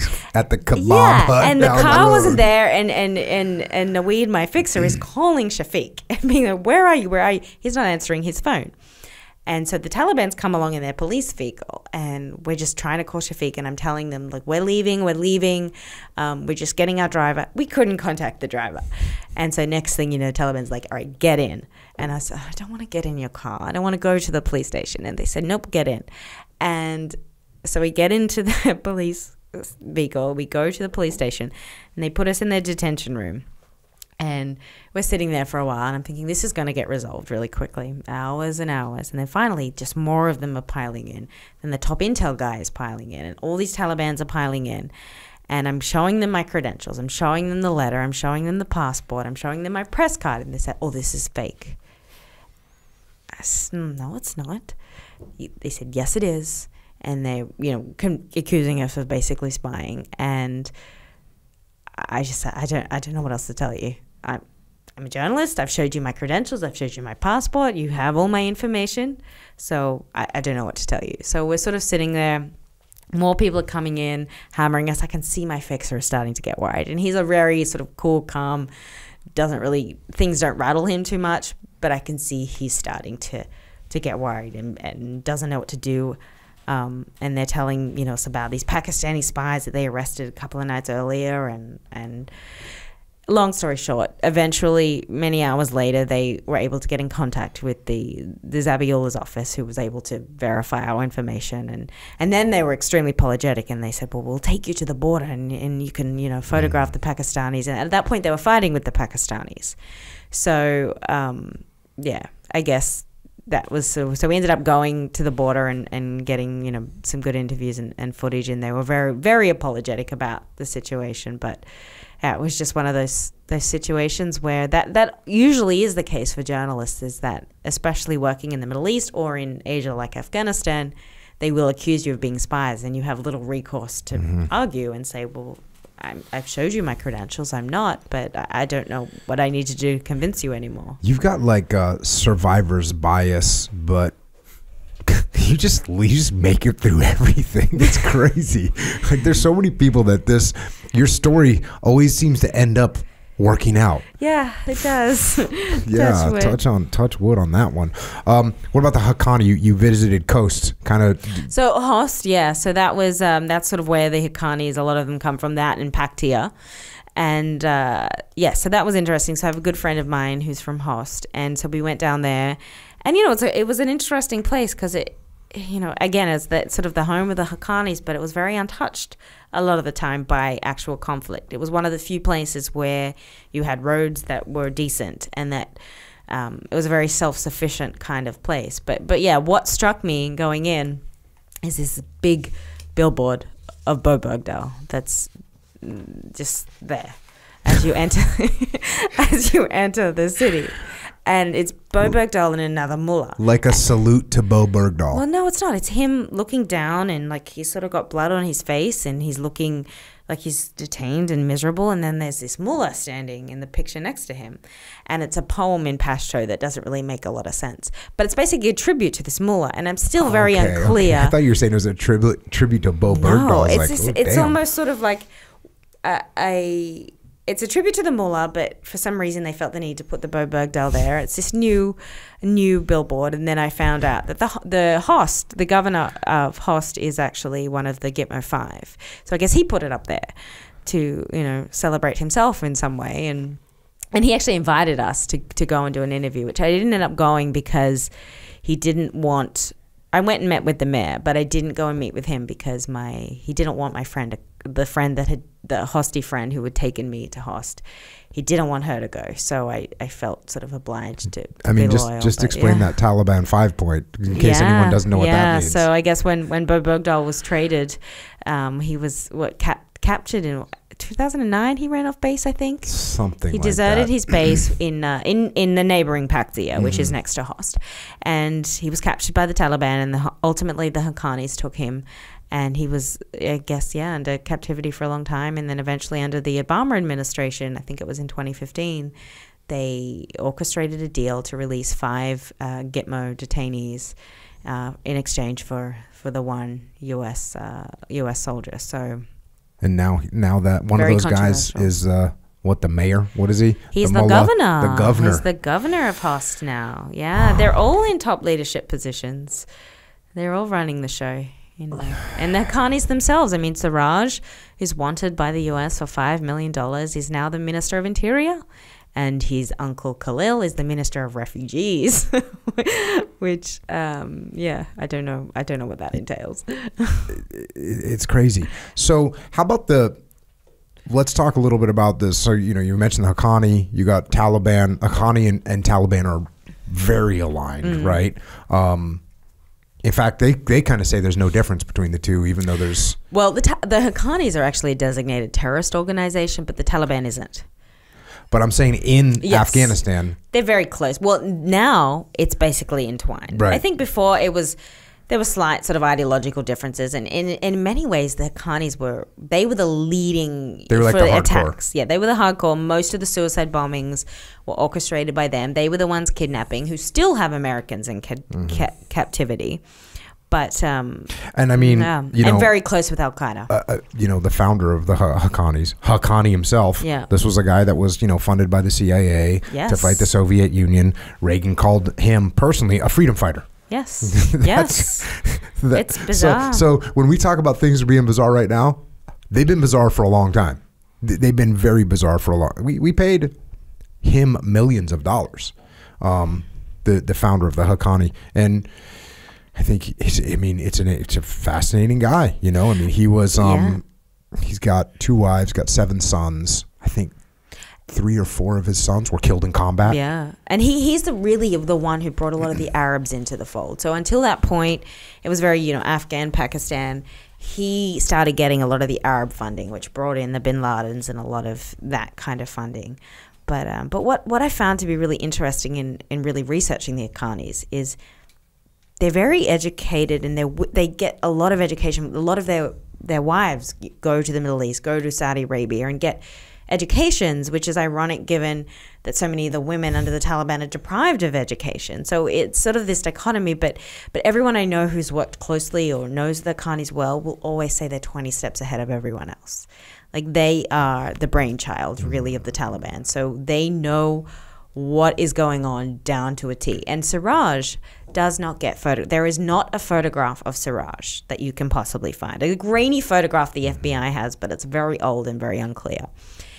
He does not get photographed at all. And he did an event once when I was there, which was um, celebrating suicide bombers at the Intercontinental Hotel, which of course the Haqqanis, you know, sent suicide bombers to several years earlier. The whole thing is crazy. so when did you go to this thing? Was this on this? I didn't go trip? in, but Oh, this okay. was in this was in late October. They had they were giving land and compensation money to families of suicide bombers, which we can get into because they are very much continuing their suicide bombing despite being a government. But they, um, so he's doing this big event there, but in every photograph that was taken, it's him from the back or him from the side or his face is blurred. And I said to to one of my sources there who was who works for him who's a Kabul intel Taliban guy and I said well you know what is up with that and he says Siraj will walk around the street every few days and nobody knows who he is. So he will walk around the street to check, you know, what's happening at the checkpoints, check what the Taliban's are doing, um, and nobody knows who he is, and he's going to keep it that way. Undercover boss. Yeah, so, but but there, yeah, there. It the whole thing is just crazy, and then. You have so he's Minister of Interior, and then you have Mullah Omar's son, Mullah Yaqub, who's only about 29, 30. He is the Minister of Defense, and those two are butt heads. They don't like each other. They're coming from different schools of thought. So it's just, it's a crazy world. And then outside of those two groups, you have ISIS K. Yes. Yes. So they, you know, they've had a presence in Afghanistan since about 2015, but essentially were pretty much defeated around 20. I think the Afghan government in early 2019 basically said that they were defeated. And that was the whole idea of the US's mission up until, I, I guess, Trump authorized them to go after the Taliban's. But up until then, it was Al Qaeda and then ISIS. And they've really made it a terrifying resurgence. There's almost daily attacks happening across Afghanistan as I was there. And and they are like even more hardcore than the Haqqani. Is that an accurate yeah, statement? they're they've got a different ideology. So what makes the Taliban's and, and the Haqqanis different to ISIS and to Al Qaeda is they're very Taliban's are very much focused on Afghanistan. They don't have any grandiose desires. They they say we want to make sure that no foreigners come into our country.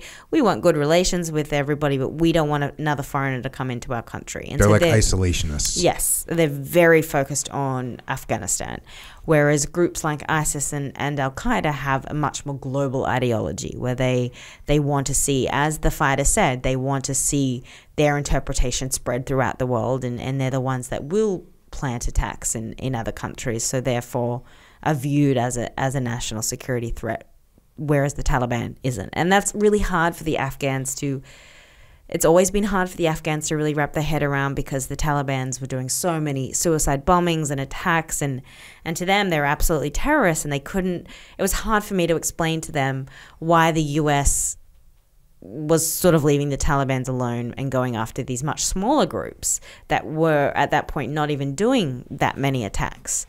And that is is going back to well the Taliban's is not a threat to the United States necessarily in a, in and of itself. Did you you went to the area where the Taliban blew up the ancient Buddha statues, yeah, to right? Bamiyan. Bamiyan, beautiful province, beautiful Like- province. Fifteen hundred years old those statues were. Yeah. You know, and that was that was crazy. So what and I I talked to the Taliban's about this about, you know, was that a mistake? And, so they say no, no, no, that that wasn't a mistake. That was the decision then, but now we're going to protect everything. And so I went to a few other places with ruins, and the Taliban's are all protecting it. And I said, "Well, you, you going to continue to protect these Buddhas, or you know, in Mazinak and other places?" Yeah, yeah, yeah. That's our orders for now. But what we have to remember is this might be their orders for now, but they didn't blow up those Buddhas until early 2001. So at that point, the Taliban's had already been in control, what, since 1996. So it was left alone. And then Mullah Omar did it as an extortion because he wanted the international community to give the Taliban's money, and the international community wouldn't. So then he threatened, well, I'm going to blow up the Buddhas, and still didn't get the money. So he made good on his promise. So that's the thing with the Taliban's. Right now, they might be okay where everything's okay, but you don't know what they're going to do next month. You don't know how the orders will change. And so, and you get there, and it was bizarre because the Taliban's were taking selfies in front of these blown up Buddhas. And I said, Well, you do know that, that it was you guys who blew these up, right? It just, you know, incredibly strange. But Bamiyan is a beautiful province. It just, it shows you, I think when we think of Afghanistan, we just think of the war and the bloodshed, but it just is, is one of the most re- remarkably uh, aesthetically beautiful places in the world. And, mm. and in Bamiyan is just a prime example of that. It was the first national park in Afghanistan. Now there was a the drone strike that killed the facilitator and planner, and Yes. you did a little a little investigation on that as well, yeah, right? so I went there a few times. So that was just outside Jalalabad in Nangarhar. So Nangarhar has always been the hub for, for ISIS-K. It's on the Pakistan border on the east, and it's just that is where you know Tora Bora is, where Bin Laden went and hid uh, immediately. Uh, I also went out to the, the Moab side, if you remember, when the US dropped that massive mother of all bombs in beginning of 2017. That's also in Nangarhar. So, um, so th- there's an area, a couple of different areas, but but that particular area was a district called Surkhrod, and that was just outside of Jalalabad, and it's one of those very eerie places and you go there and you feel like the skin on your your neck is standing up because it, it just doesn't feel right. And so the house that was hit was in the far corner. It was actually a really nice house compared to you know a lot of the mud huts and things and this was a nice sort of brick home. And we went into the home um, and you could yeah see where it was hit and it was it was so precise. It was just like you know this one section of the backyard in this chair that had been blown up and nothing else was touched. So I went and talked to to the neighbors there and, and one of the, the guys who, who was there and as the drone strike hit, which was close to midnight, and he was on I guess guard duty on a roof across. And yeah, he sort of said that that there was a strange guy that sort of hadn't been living there that long, but um, but would come and go and yeah, they hit that night, and then sort of immediately, I guess a car came and took the women out of the house and the children. And then um, the next day, a bunch of Taliban's came in and were, were taking things out, taking flags, taking, he said, he didn't know what they were taking, but big boxes that were just weighing the car down. And then Taliban's went in there after that and took out more things, or I guess from the house. And then he said that the, those Taliban's were found without their heads hanging on a, a tree the next a couple of days later with an ISIS stamped letter next to it, basically saying anybody who removes these bodies is going to, to kind of be next. And he said eventually that um, if someone from another district came to collect them, but they were just hanging there on that tree for, for many days because people were afraid of ISIS. And he said that every night, sort of, you ISIS comes in, you, they they come in and, and take control, but during the day, it's very much the Taliban doing patrol. The Taliban get scared and disappear, and then the yeah the ISIS fighters come in at night, and he even showed me his own warning letter he got from the Taliban's for doing a local news interview after that drone strike, and then he said that the Taliban saw the interview and and were then accusing him of being the one that gave the location to the foreigners. So it's complex, and then the actual ISIS controlled center where a lot of these people come from is the next district over, which is Chaparhar. So so we went into that one day, which I don't know, it was the smartest decision, but I'm here today. you, you, should play lottery. I should. Because you would win a lot. Uh. um, so I know you left, what, the first, first, yes. first of December? Yes. So like a, a few days ago, yes. a week ago? Yes. Um, as you as you look back, is there anything else? Any other high points from there? I mean, there's no, a bunch I of mean, stuff. yeah. I'm sure you you know. Um, on your website, you've got a link to a bunch of the articles that you've yes, written over yeah. there. and I have a Substack that I also so Oh, I subscribe to that, and I usually put all all the articles into that, and also a little bit of extra kind of so what, background. how do they get to the Substack? So it's just uh, you can get it straight from my website, or it's Okay. just yeah, it's And your your website is what Hollie McKay. H O L L I E M C K A Y dot com. There you go. Yep. And then you can get to the Substack. Yeah. Go into some more detail there. But as you look at what's going on, um, what's what's going on now? This is a disaster. I mean, I, I know one thing that you'd mentioned to me is like, and it's sort of the the I guess the, the, the like the ground or the most granular sort of point zero for the disaster is like what happened to the military working dogs that got left behind. Yeah, and uh, you know that was such a big story. If everybody remembers, there was about 130 dogs, and you see these pictures of them at the airport. And so I wanted to to follow up on that and find out what what happened to those dogs because the DoD was very quick to come out and say they weren't U.S. military dogs, but they were contractor dogs. So the, the long story short is that you know different uh, contracting companies had given those dogs to a Kabul Small Animal Rescue, which is run by a woman named Charlotte, and she was tasked with getting them out. But when she got to the airport, was basically told, you know, you can't get all these dogs on the plane, and you can only take out what you can carry. So there was a lot of controversy. Oh my gosh, these dogs are being abandoned. But you know, she's someone who really does amazing work in, in rescuing these animals and, and caring for them. So I wanted to follow up and find out what happened to them and. I talked to her and she said they recovered about 70. Um, most of them, or not half, probably had been killed by the Taliban's. And then you had so a lot of the spaniels, which are very friendly dogs, had run up to the Taliban's, and, and the Taliban's just are not they don't have dogs as pets. When they had the rule in the nineties, dogs were outlawed. They're considered unclean by the Taliban's. You can have cats, but not dogs.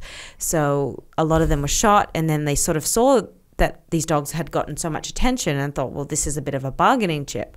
So they kept a lot of the German Shepherds because they thought that a lot of the German Shepherds must be guard dogs, even though a lot of them were not trained as guard dogs. But you see, especially at the airport and other places, the Taliban's walking around these dogs that they have no idea what they're doing with. Like these dogs, like they don't look like you know. So, so some of them survived. Some of them were left to run around the mm-hmm. airport compound, and, and some of them got out. So yeah, it, it was a sad situation, and and we can debate for days. You know, obviously humans have yeah. to get priority over dogs, but, but I think well, we all can agree we we love our animals. Yeah. Well, what about that? What about the like the hum, from a humanitarian perspective of what's going on there now? It's an absolute disaster, and that is that, that is the heartbreaking thing. Is the to give you some context, when I got there, it was 70 Afghans to one US dollar. It was a it hit 100 by the time I left. So that just shows you how quickly that devalued their their Afghani devalued the currency. People can't afford bread. People can't afford just basic things. There there is no middle class in Afghanistan anymore. It's people are selling their belongings on the street. Um, you know, crime has gone through the roof again. It dropped initially because I think people were in fear that they were going to get their hand chopped off, and when it became prevalent that, that wasn't going to happen, at least not right now, the crime went back up. And it's you go to these public hospitals, and I mean, they were just the amount of malnourished babies that are just dying en masse, and, and the mothers are on the floor breastfeeding, and it was something I'd really just never seen to that degree. And it broke my heart because of the amount of money that, that we as Americans and the amount of treasure and the amount of people and the amount of you know effort that had been put into this. And and this was the result. And it's only going to get worse during the winter. And and and, and the US and, and other countries are going to have to make this very uncomfortable decision of do we unfreeze this money, this 9.5 billion that was frozen when the Taliban's took over and the World Bank and, and International Monetary Fund also froze? Do we unfreeze that and enable this government to to support a country of 38 million? Because there is no money coming in. There's absolutely no money. You cannot get money out of the banks. Um, yeah, it was it was very challenging to work in because of that environment but we're going to have to make this decision of do we work with this government so that these innocent Afghan people who have already gone through so much can survive and have some kind of dignity in their lives?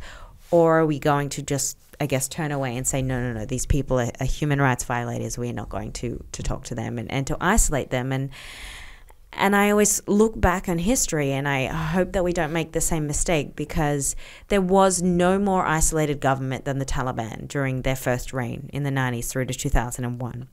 They were blackballed by everybody. They had no money. The one person who came in and gave them money, and not very much, 1.5 million, I think it was, was Osama bin Laden. He's the one who came in and gave them money. And so naturally, they were going to protect him. Naturally, when the US said, hand him over, Mullah Omar said no. He's the only one who came in and gave us money.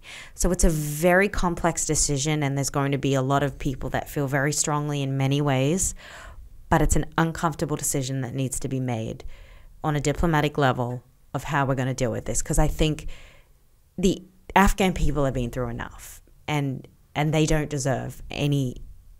They don't deserve to suffer the ramifications of this any more than they already have, and that that's that's sort of the uncomfortable choice. There isn't many options. Do you, as when you got back to America, um, I guess it's been a couple days ago, but even even as you were, you know, overseas and you were online and you were looking at the way that the stories were being presented and the way that the events were being presented, with now the you know the way the media and social media and emotional media all works now what was your you know what was the delta between what you were seeing and what the world was being fed? There was quite a dichotomy. So if i was just to look at twitter and to look at what was happening i would think there was mass slaughter on the street. I would think that that the Taliban's were going out and pulling people from their homes and and and certainly there are isolated cases of that happening but that was very much the exception, not the norm. And that was not accurately reflected. I think, you know, as strange as it is, the Taliban's were trying to show this image of, of they want to be recognized. The, the, is it safe to say that the Taliban is trying to rebrand? Yes, absolutely. And and I think you know there's a lot of this. I hear a lot of well, they haven't changed since the 2000 and you know or their first reigns in the 90s, and I, I don't think that's accurate. They have changed. They've changed a lot in many different respects. But um, but yeah, a lot of the information I was seeing about these just you know mass slaughters and eh, you know I think there was one thing where and a lot of people had asked me about it. There was a rumor going around about a girl that had been beheaded by the Taliban. And when I looked into it and I asked my fixer to look into it, it turned out that she had been killed in July, so before the Taliban's came in, but it was an internal family conflict. It had nothing to do with, you know, and yet this was being presented as this just happened last week and, and the, she's being beheaded. And I saw like Kim Kardashian or someone was then retweeting it and putting it on a story and then a million more people are asking me and I thought this is how this cycle perpetuates. But if I was to to sum up the situation, it was certainly terrible things were happening, but it, it wasn't what was being painted. You know, as I said, I, I could work freely and, and, and mm. unharmed. Um, and, you know, I was only wearing a hijab. So a lot of the information just was, was wrong. And, and there was something I even saw, you know, there was a picture that was going around where it was a, a, woman in a burqa and she had a chain around her ankle and was being led by a husband. And people were saying, you know, this is Afghanistan now under the Taliban. I looked at, you know, a quick reverse image search and you see, oh no, that was 2003 Iraq and somebody photoshopped a chain to this woman's ankle. So eh, there was so much of that, and um, and I think there really were few journalists that were in there. I didn't I didn't meet too many other Americans. Like I met a couple of Americans that came in and, and then left again. But generally, there was just a few European journalists that came in, and so a lot of the work was being done from from outside the country. And I think it just shows you the importance of being on the ground. And a lot of news organizations don't want to invest in that anymore. But Afghanistan really showed me the importance of of having the ground perspective because it's it's so different to what you see just sort of an aggregating or even talking to people. And I think you know a lot of in- interviewees were talking to the diaspora, people that had fled, but their perspective was no longer in Afghanistan. Mm-hmm. So yeah, there's a lot of disinformation. Um, yeah, and it'll be it, it, no one knows, right? Yeah. we don't know what the Taliban's going to do. Um, you know, they were pretty brutal in their last, you know, time in power from 1995, 1996, um, up until 2001, up until up until the Northern Alliance and America went in there, and I mean they had some some some bad things happen, right? Um, starvation and and just bad some bad stuff happened. Mm. I mean horrible. It's a, it's a, you know definitely human rights violations and all Huge. that stuff. Absolutely has happened and and you know there was obviously there was some reports of terrible things happening again and it's hard to know yeah. but to your point unless you have people on the ground you it's very it makes it even more difficult to actually know what's happening and make decisions on what you're going to do when you're basing it on photoshopped images mm. yeah absolutely um you mentioned Osama bin Laden what was talk to us a little bit about Osama bin Laden, Osama bin Laden's presence in the psyche of the Afghan people now. What did you observe from that perspective? Yeah, so I really think you know his legacy is still very strong in Afghanistan, and even places that I went to, you know, in again the Jalalabad, the the information and culture minister there has told me straight, don't do any stories on Osama bin Laden. so I was like, oh, you wait, you wait now, I'm going. um, so, but you see that legacy sort of carry through, and and they're all in power because of him. And again, it goes back to he's the one who sort of came in and, and, gave them money when no one else would and so in return for that they gave him gave him safe harbor. And it's under that code of Pashtunwali, which is really the highest moral code that the that the Pashtuns have in protecting guests. And, and it's the same code that they use to protect somebody like me who's a who's a guest in their country. So it's it's a very complex sort of thing. But but when you talk to regular Afghans or, or students or, or people that you know and they're young twenty something, they they don't know who he is, and it's it's just interesting because you sort of look at this war and you that was continuing to go on and, and, and yet you sort of have the, the people that are, are caught in the crossfire who just sort of have no idea of what what happened and, and what the background is and, and why this is all uh, kind of still going on. So it's interesting. And al-qaeda still you know certainly exists in afghanistan too. Um, my understanding from the Taliban's is that they've been told that they are not allowed to do any take any military actions that they have to you know they're allowed to be in the country but they have to to stop you know not plan anything or do anything otherwise they'll be in trouble. But I think a lot of the times too a lot of those Al Qaeda members have just been basically folded in into the Taliban's and a, a part of the intelligence units or a part of that whole operation. Yeah, it was definitely some of your articles mentioned the fact that you know, some 20 year old Afghan didn't really know who Osama bin Laden was. Yeah.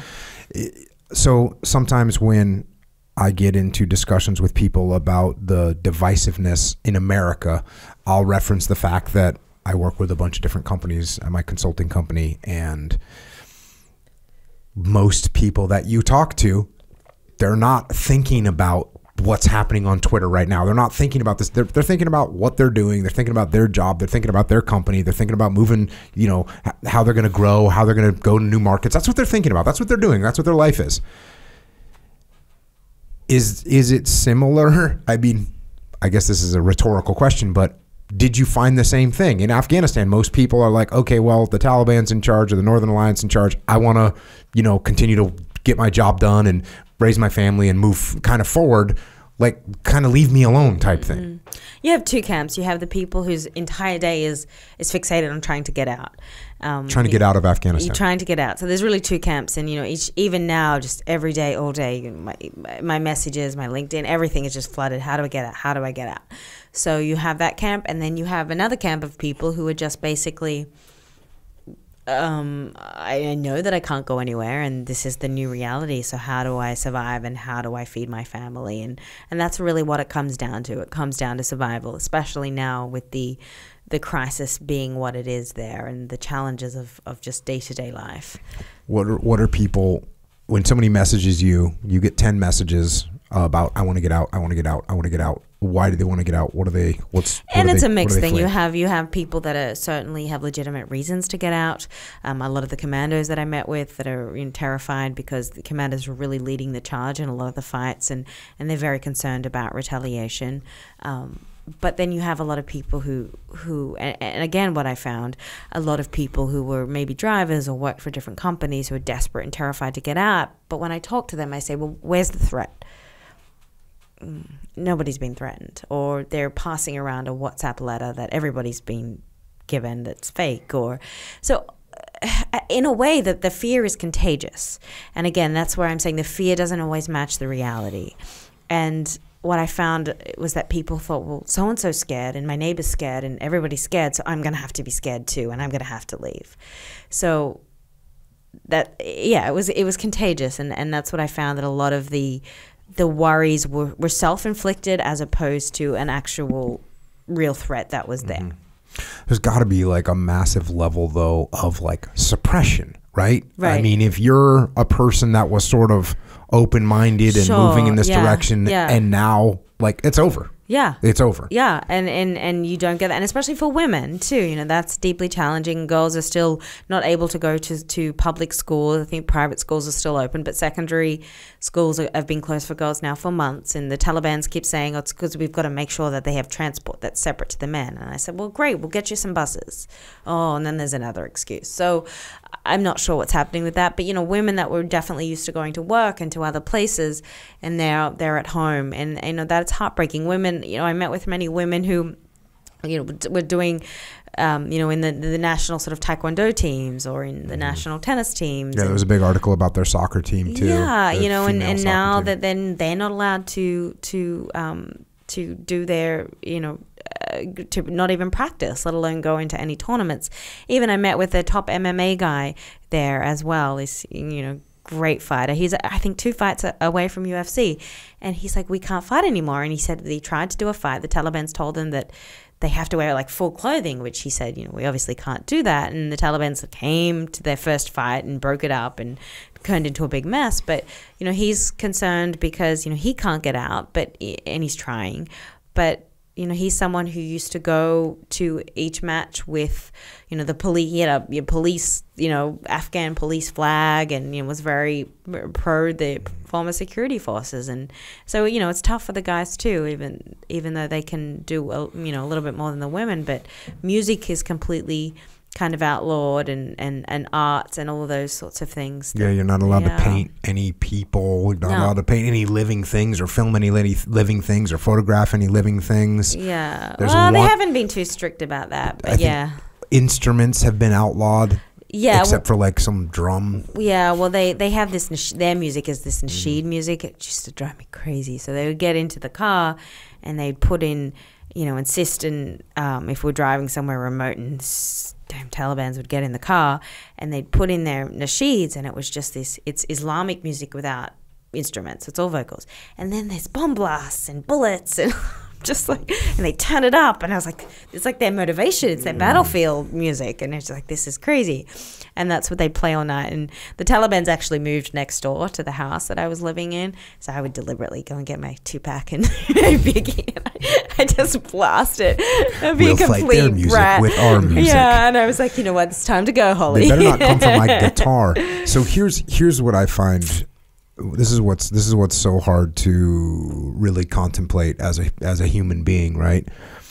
What percentage of people are are are don't want it to be this way, right? What percentage of people don't want it to be this way and would give anything to go back to whatever to Yeah. 2019 and be moving in a certain direction and have the females ready to go to school and be able to play your guitar and be able to do MMA what percentage of the population feels that way versus what percentage of the population wants to go back to the old Taliban ways and strict Sh- Sharia law I'm not asking you you can, you can make an estimation Yeah. but it's very difficult and then okay if you're that if you're 90% is on board for Sharia law and that's what we're doing, and hey, the 10% that aren't on board with it, you, you best get out of here because this is what we're doing.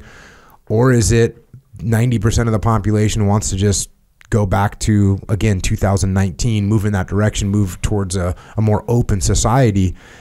And if that's the case, and it's uh, just a strict small percentage of people that maintain power and control via force and brutality, well then, then, then, then what are we supposed to do?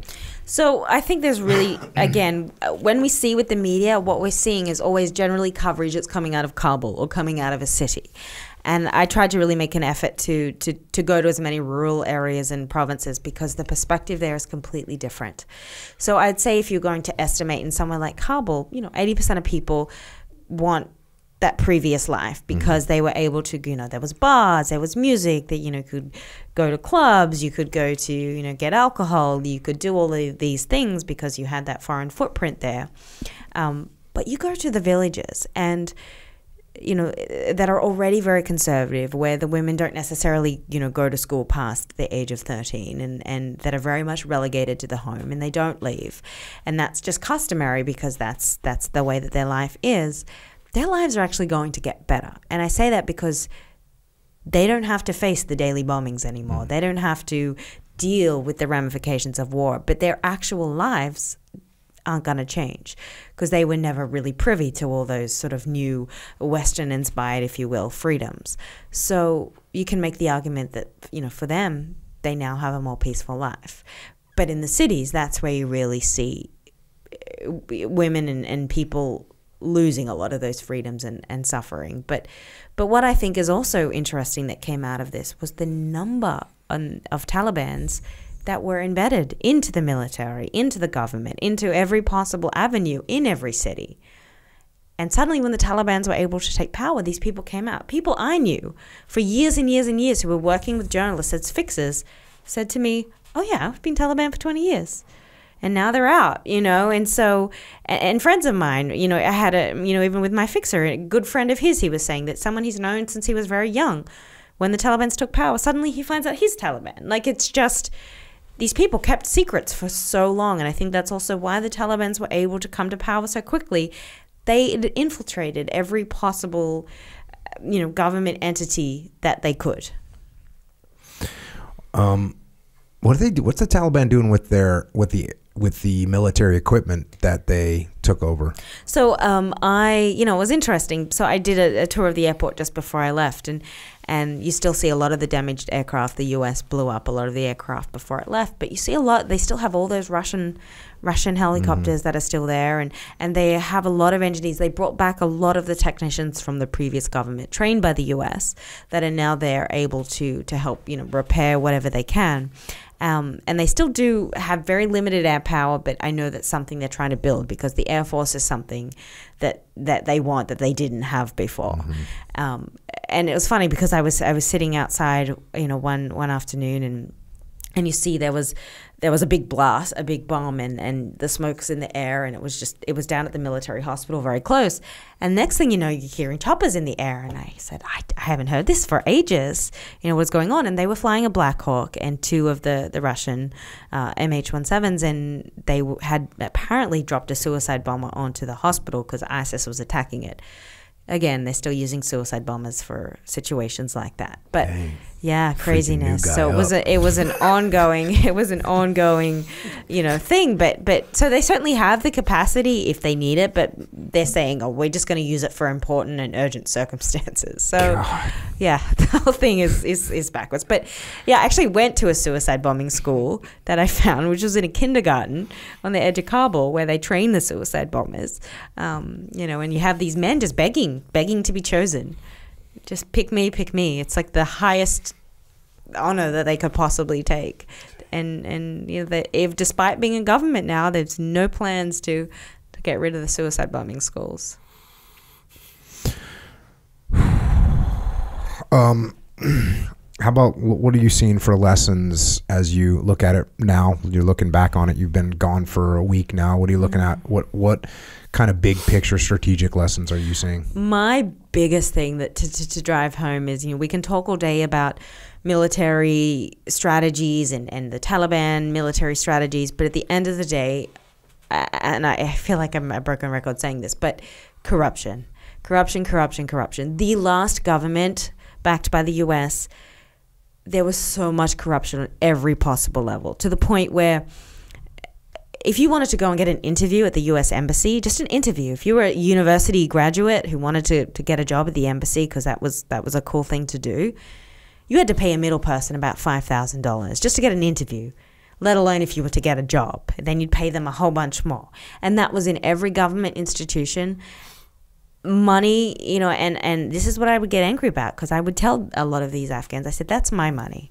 As a US taxpayer, you stole our money, or not you personally, but your previous government, you stole our money. And you took that and you lined your pockets. Kabul could be Dubai by now. $2 trillion. And this is what has come from it. And that is because the corruption on every level was just so rampant and so disgusting. And even even when you know a lot of these warlords and people were fleeing the country when the Talibs were taking over, there was just there was chunks of gold that they were keeping, you know, hidden underground, just wads of cash that just unfathomable numbers, and there was not a thing that you could do to get through daily life without paying a bribe. You know, to get through a checkpoint, you're paying a bribe. To get whatever you needed, like life for Afghans was difficult because of this institutionalized corruption that I think the US looked at and said, well, this is too systemic for us to do anything about. We just have to leave it. But really, to me, that was the root of the problem. So people looked at that. Afghans looked at that and were like, why am I starving here when this local governor is is you know, rolling around and with all this money and a Rolls Royce and all these fancy things, and I can't, you know, I have to pay every day, every time just to get to my job. And that's what the, the Taliban really capitalized on that. They capitalized on, well, we are not going to be corrupt. You know, that's against Islam. We are going to, um, you know, support everybody, treat everybody the same. And so people that didn't even ideologically want to be, you know, with the Taliban's, they were driven to that. And I, have seen that in many countries. You want to fight against the government that you feel is, is stealing from you. And it, it just got to the point where it was it was so bad. You had you had judges in provinces or, or lawyers like just falsely accusing people of something and, and taking them to court so they could get bribe money. So it, it just and it was just it was on every possible level. Even even at the hospitals, you had medical staff stealing the supply, supplies so they could go and sell them at a local pharmacy, or because they owned their own pharmacy, and that was going to pay them better money than the government salary. So eh, you know, it's if you're going to go into a country or give country any sort of form of foreign aid, I, I hope that the US or and the other countries can learn that lesson of if you don't stop that right in the beginning, if you don't hold people accountable, and there was there was never accountability to any of the corruption or stolen money. This is the result you're going to get, mm-hmm. and I saw that in Iraq too, with you know people joining ISIS because they wanted to fight back against the government, who they felt was stealing from them and were corrupt and was suppressing them. And it wasn't about we want to be part of ISIS because we agree with ISIS. It was no, we, we want to fight this government because they're not here for us. And that's the when you pull the string on Vietnam, the South Vietnamese government was just completely corrupt, and a lot of the issues that they had were due to the exact same type of corruption. The whole, the whole um, system operated on through corruption and scratching each other's backs and you know getting money here and putting it in your own pockets and you know that was just the way it worked and that was a huge part of the issues that they had and why it's the exact same thing. It's literally the exact same thing um, seen it again. I know that um, you know you've been you've been gone so you were over there for August September October November December. That's like a, a deployment yeah. a deployment into a into a war zone where everything's falling apart. What is that? That's. I mean, are you coming back this time? What, how's it? How's it? How's the transition back to reality? Back to norm, norm, normal American life. Yeah, it was incredibly difficult. I think for me to leave this time. Um, I felt tremendously guilty about leaving because I knew that that I can as an Australian and an American, I can get, you know, I, am able to get a flight out to Abu Dhabi and, and able to leave freely when it's something obviously a lot of Afghans want. And I felt tremendously guilty because, again, you know, I, I never think my life is any more valuable than theirs. Um, I just happen to be lucky enough to be born in, in different geographical coordinates that have given me a different different passports and and um, and a very different life. And, you know, the Afghans are some of the most truly beautiful people. They're just so hospitable, very kind. Um, I, I, have a great love for the Afghans. I always say that I've been to many places in the world, but I, have never quite sort of fallen in love with a place the way I've, I've fallen in love with Afghanistan over the years. And it's just, it's very special people. And I felt tremendously guilty um, just I guess you know walking away from them. And I knew that it was time to leave, and I knew that um, you know some of the decisions that I felt that I was making um, as a journalist were I, I was taking risks that I knew were were, were I shouldn't be taking. Um, and I think when you get to that point, when you sort of maybe don't care so much about the outcome, it's time to take a break. And that's sort of a point that I think that I'd gotten to, you know, especially with going into some of the ISIS areas and and even my photographer was hesitating and I was okay, oh, I'm fine. I and I didn't have the same I think normal reactions you should have to those situations just you know the natural sense of fear or, or worry and and so anyway so I, I knew it was definitely time to take a break with that but i think yeah, I, I felt very guilty, especially those first few days. I, I was just you know wanting to turn around and immediately go back. But um, my first thing, so I couldn't go for a run, and I'm a big runner, and I couldn't go for a run for you know five months. And so the first thing I did when I got to New York was go for a run.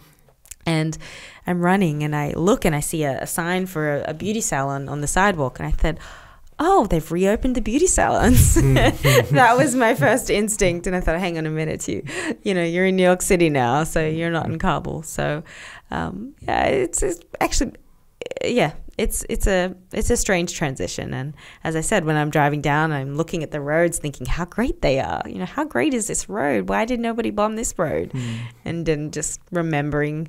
Um, remembering where I am, so it's um, yeah, it's a little bit of a transition, but and so, how long are you going to stay home for? Oh, I don't I don't have a home right now, Jocko. I don't. How long are you going to sleep in places where there's beds? I do need to get a home. Actually, that is the objective for for early twenty. Early 2022, Ugh, scary. Um, I am going to get a home, um, so I have a good base. So I, I think I need to In to. America? Yes, so I can probably probably Virginia. I think maybe I kind of like that area.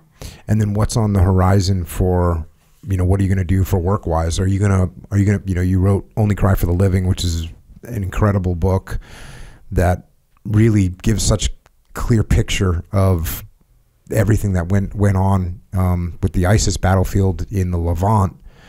What what are your plans on this stuff? So I have so Jake and my photographer and I have a, a photo book we're working on, and he's got some really just beautiful pictures of Afghanistan throughout this transition. And then I I'm going to knuckle down and get the writing for that done. Um, just sort of it's a, a way to present, I guess, Afghanistan to people in a very visual way. Um, you know, just sort of showing people what, what it's like to, to be there through the fall and then in that period after, and, and who the Afghans are, who the Taliban's are, who are all these different players. So that's uh, the writing project I'm working on, and then just yeah, continuing to do journalism and little bits and pieces of, of different things here and there. So yeah. How much writing is it going to take to get that book done? not a huge amount. It's not going to be super word intensive because of the pictures. So probably, and I have so much material already. It's really just a matter of sitting down and, mm-hmm. and sorting through what I think is going to be the most compelling to go with the pictures that we've already selected. So Kind of like a Humans of New York, but Kind of. more like Humans of Afghanistan. yeah, a little bit, and then sort of go into some of the some of the decisions and some of the major things that were done and, and, and said, and explain things in in a in a way that I hope people can resonate with. Really.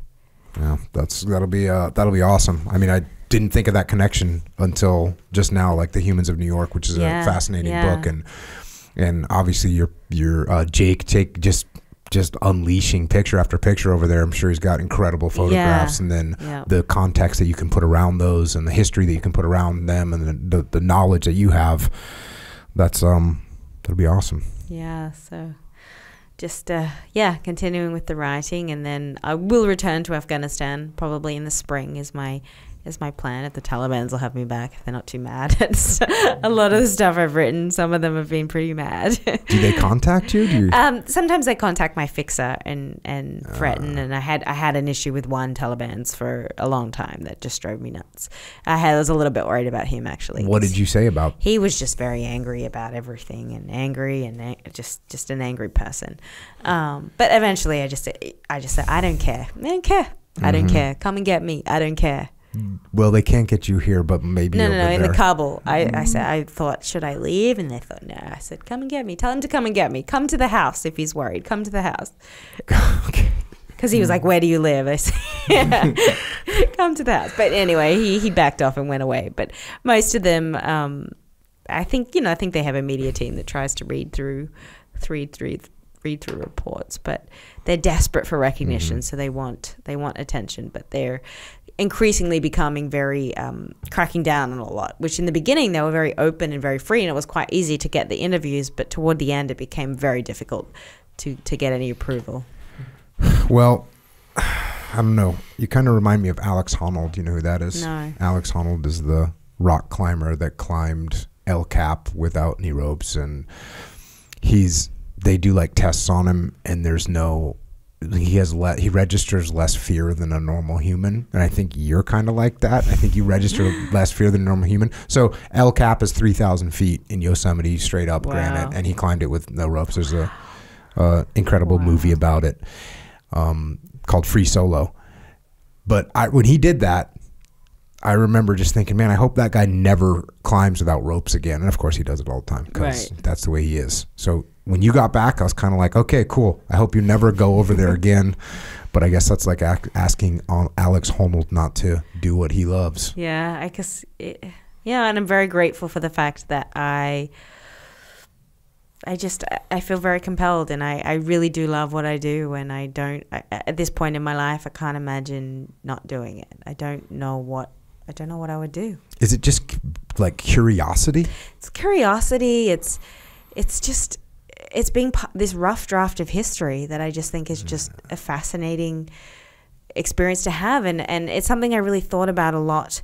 You know, you're sitting with all these Taliban's and and they're bragging about killing Americans and they're bragging about shooting down, um, you know, American helicopters and and they're you know, and I I really had to reflect on it a little bit because I thought I'm in this situation. You know, what is my job here? And and and I think what journalists can do is it's it's not to you hear this stuff about being a voice and giving people platforms. No, that's not how I see my job.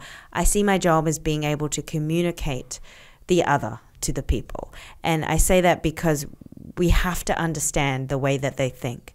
And we want to it's very easy to paint things as black and white as as as this is the good guy, this is the bad guy, but you have to understand why they do what they do, where this comes from, what their impetus is. And, and that's the way that I sort of see a lot of journalism is not to go in and interrogate or to stick it to them or to, you just have to go in and have a conversation. And sometimes that's, I find it to be really difficult because, you know, here's somebody that's, that's, you know, bragging about killing Americans or, or, and yet you still have to go in there and have tea and talk to them. And, and it's, it's a balance of, of sort of this compartmentalization with writing from a place of humanity, but I, I see that as that communication as being something that, that really journalists can do the best because you know we aren't government employees so we don't have to we can speak to anyone we mm. want. And and I think it's an important job to be able to to understand you know where they're coming from and what that objective is. And you know one of them said something interesting and I'd love to get what your response would be because I, I didn't have a I, I just didn't have a response but he he looked at me and he said, you know, if how would you feel if I went to Australia and I started recruiting Australians to kill other Australians? Wouldn't you want to fight me back? I thought about it for a really long time and I, I didn't I didn't have I didn't have a great response because as I said earlier, Afghans were not the ones who who drove those planes into into New York. That was they were Saudi. Osama was found in Pakistan. So we can sort of debate about what role Afghans really even had in those attacks. And so, in putting myself in his shoes, you know, I didn't have a great response for how do you respond to that? Yeah, well, that's the important thing about what you said earlier, and this is something that we don't do a great job of, and by we I mean America and West, the West in general, is trying to understand what other people are thinking, mm. right? And if you don't understand what other people are thinking, as a, I mean, this is what Sun Tzu said 2,500 years ago in the Art of War. You have to understand what your opponent, what your enemy is thinking. If you don't understand what they're thinking, your chances of winning go down dramatically. So anytime you try and impose your thoughts on the enemy or you assume that you understand what they're thinking, you're making a you're making a huge mistake. You're making a huge strategic mistake when you let that happen.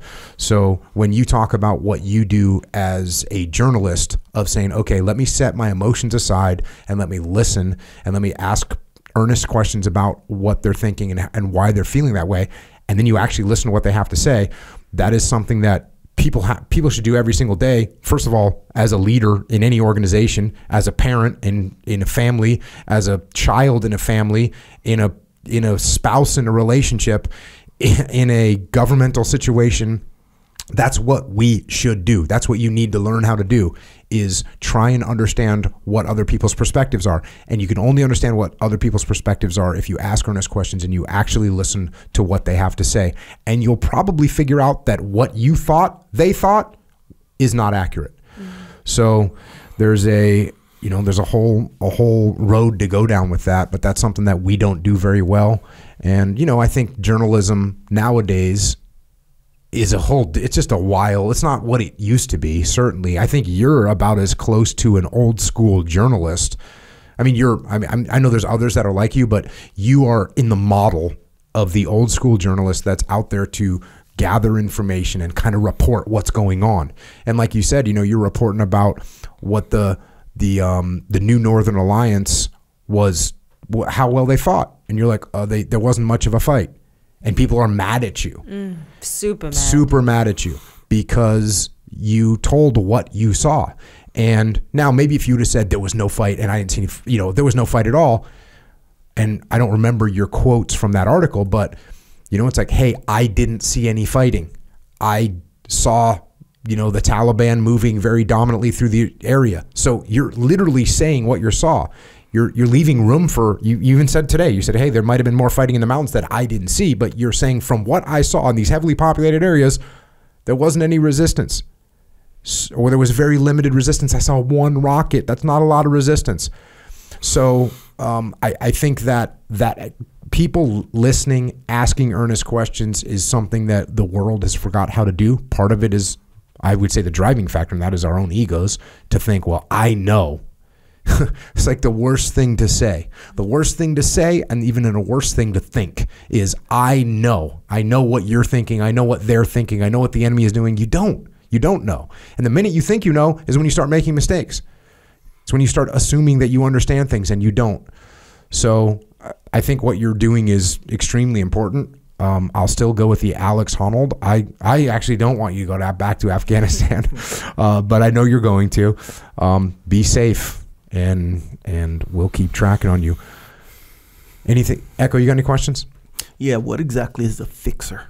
So sorry. A fixer is something that journalists or NGOs even, but primarily journalists, when we go into foreign countries, we hire um, sort of a local person. Sometimes they're a former journalist, sometimes they're just a connected person, and they you know help. Often will be a translator, um, and they will help uh, sort of help us facilitate interviews and and make calls and and just kind of yeah, work with us. It's, it's almost sort of like, uh, you know, I ended up calling my, my fix and a weed a producer. Hmm. So essentially he's kind of like producing for us, you know, he's doing a lot of the background. And, and it was really funny when we went back this time because for the last 20 years, all the Afghans and, and the fixers have been speaking Dari, hmm.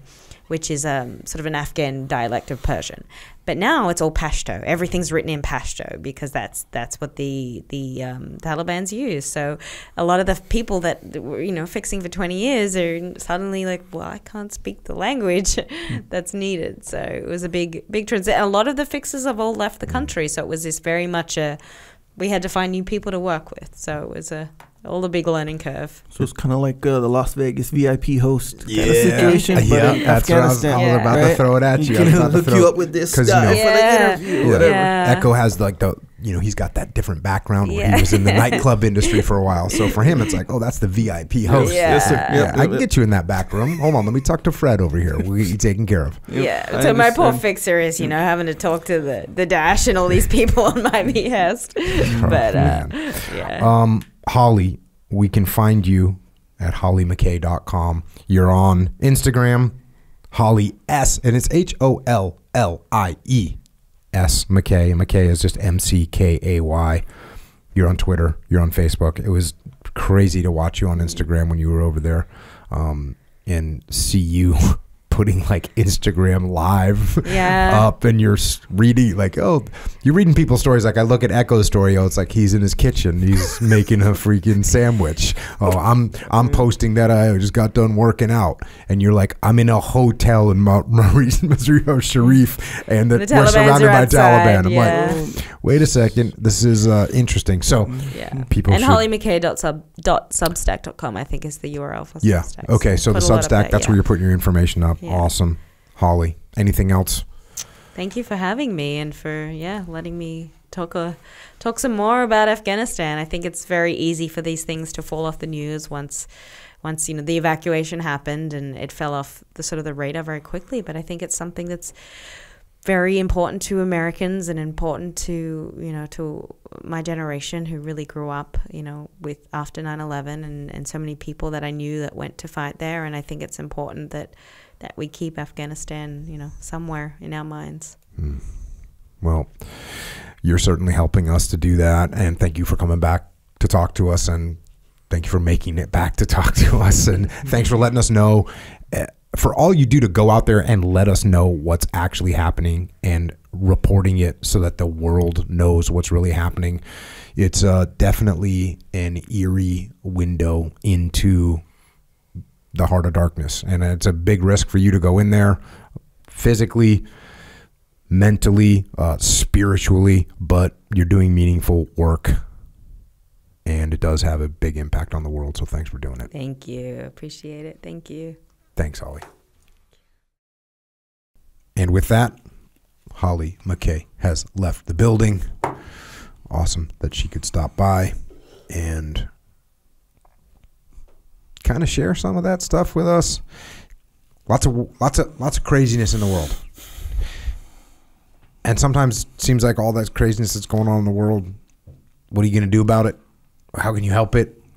Look, I don't know what you're going to do for some young girl that's getting no education in Afghanistan right now. I'm not sure what you can do about that. I'm not sure. But I do know this. You got little control over your world, what's going on in your world.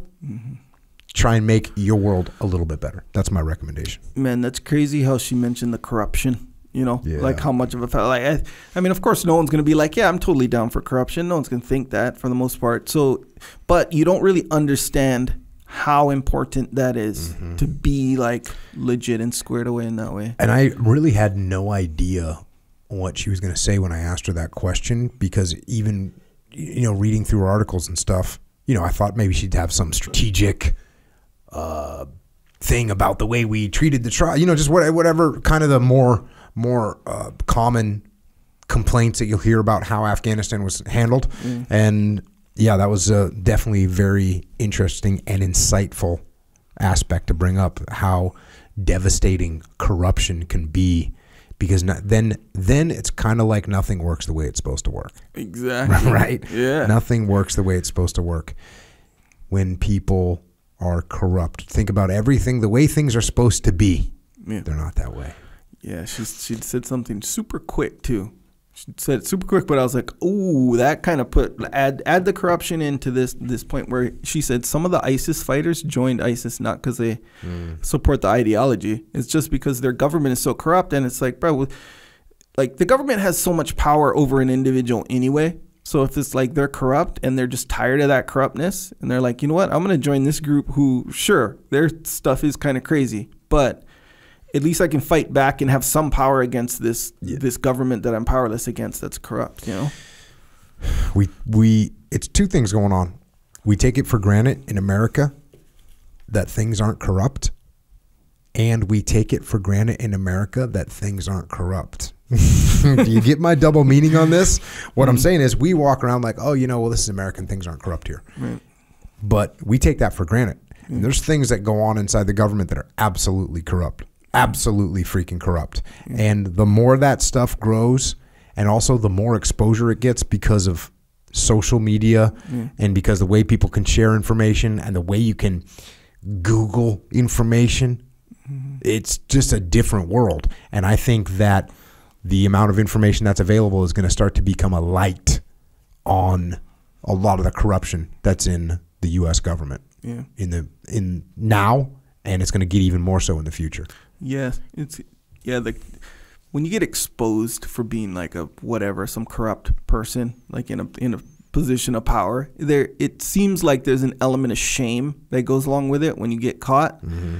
Then, then again, I'm no expert in Afghanistan, so I don't know. But it seems like it's just so accept more accepted in mm-hmm. certain places, you know. Yeah, well, like look at what just happened with the Cuomo guy from CNN. Yeah. Why did they get that? Well, because he had texts going back and forth. That that wouldn't have happened twenty years ago, maybe. Twenty? Were we texting twenty years ago? Yeah. Not too much. The first time I ever texted was we were in Vegas with Task Unit Bruiser and Leif and Seth were texting. And they started texting me. And I'm like, what are you doing? Just call me or whatever, because you're dumb, yeah. right? You don't know what's happening. I'm like, just freaking call me. Sure. They're like, well, we'll send you a text when we get to wherever. And I'm like, well, just call me. Why are you going to text me? And then sure enough, I'm sitting in some bar somewhere and it's super loud and zzz, zzz, get the text. and then just responding. you Yeah. know. It's like yeah, the remember the T what do you call it? T nine word. You know the one. It's not now like a phone. It's like actual Mm. Key keyboard. Well, I got to I got to say I had a BlackBerry. Hell yeah! When I was the Admiral's aide, I got issued a BlackBerry. yeah, that was that was and so then I had the. BlackBerry, and once you have a BlackBerry, it was hard to do anything else because they were freaking a super squared away little rig. Yeah, Even my, fir- I got the first iPhone, Mm. the very first iPhone that came out. Stoner went and got in line shit. and got us both iPhones, And three days later, you had like a three day return policy. I took it back, got a, got my got my BlackBerry back. Huh. The BlackBerry was a squared away little rig, and then now it gets crushed. Yeah. Now it gets crushed by a. Well, it gets crushed by the iPhone for Kinda, sure Kind of everything. because they thought they knew, they thought they had a lock. Yeah. They were arrogant. Yeah. You gotta be BlackBerry was arrogant. Isn't it funny how like even when you say I texted like texting is so new that we the language didn't even catch up. We just assumed that okay, text is now a verb. So now we got to accommodate, you know. So because before then text is a noun. Now it's a noun and a verb. Mm-hmm. So now you need past tense, present tense, future, you know, all these Check additional things. linguistics you're over here, the Hey, I'm just saying, English major, you got to Yeah, you relate to this kind of stuff. sure. So you're like, oh yeah, he texted me. It's like, is texted a word? Well, I guess it is now. What's the past tense for text? Mm-hmm. Text. Just text. He texted me. Texted in the past. Texted, right? Yeah, Has that's to what be I just said. T X T and then an ed. Yeah, texted. Yeah. Texted. But see how that's like a question, Texting. kind of texting. Yeah, we're not saying? sure. It sounds weird. Texted doesn't sound quite right. Yeah. It's a weird word to say. yeah. So we got to be careful of that. yeah, we do. Very careful. So that. there's corruption out there. Yep. Um, lots of craziness in the world. Like I said, try and make your world Yeah. as squared away as you can. Yeah. How do we do that? Got to stay capable. I'll tell you that. Stay capable. Stay healthy. How about that? You should just go with the first thing in the top of your head that you've utilized. Say like, "Hey, I was tired the other day, and I went and tried the new freaking pre-workout, and it was savage, and I ended up jacking Big Steel." Yeah. well, okay, I will, but it's not that story because when I tried when I took some pre workout, I tried it a long time Mm-hmm. ago. When I took some pre workout, a I wasn't tired. I just did it for the for this the our mind pre- body our Yes, sir. pre-workout? Okay. Yeah. For the mind body connection experience while working out. Okay. Didn't let me down full on. And it's kind of and it's different. You can feel the difference like when you don't take it because I don't take it all the time. Mm-hmm. Yeah. So that was my experience recently. That was day before yesterday. Is there a moment where you say, "Oh, feeling this certain mode right now, gonna jump into, I'm gonna gonna get that little extra hitter right now"? Yes. And what is it? What is the feeling? Um, what do you mean? The feeling that compels that behavior? Yes. Yes. Um, it's pretty random. It's not when I'm tired though. Tired Uh-huh. because Hmm. it doesn't have enough caffeine for me to be like, oh, I'm tired. I need to take this Two- for the two tiredness. Scoops, two scoops. That's Yeah. whatever, almost 200 milligrams of caffeine. Come on, bro. What are you, a crackhead? I'm not ready for the two scoops yet. You know? Dude, JP, at five o'clock in the morning, Yeah. he dry scooped Mm-hmm. the new pre workout, Yeah. F- chased it Mm-hmm. with sour apple sniper, dry scooped another one, and chased it again. Yeah. That's a little bit beyond beyond my uh what going my hard in the paint. consumption uh capabilities. Either way, yes, pre workout I did that. I would say the uh, the more significant experience is with the energy drinks. Mm-hmm. That's the one. That's the one that gets you. Yeah, and very very often. Like I drink them a lot.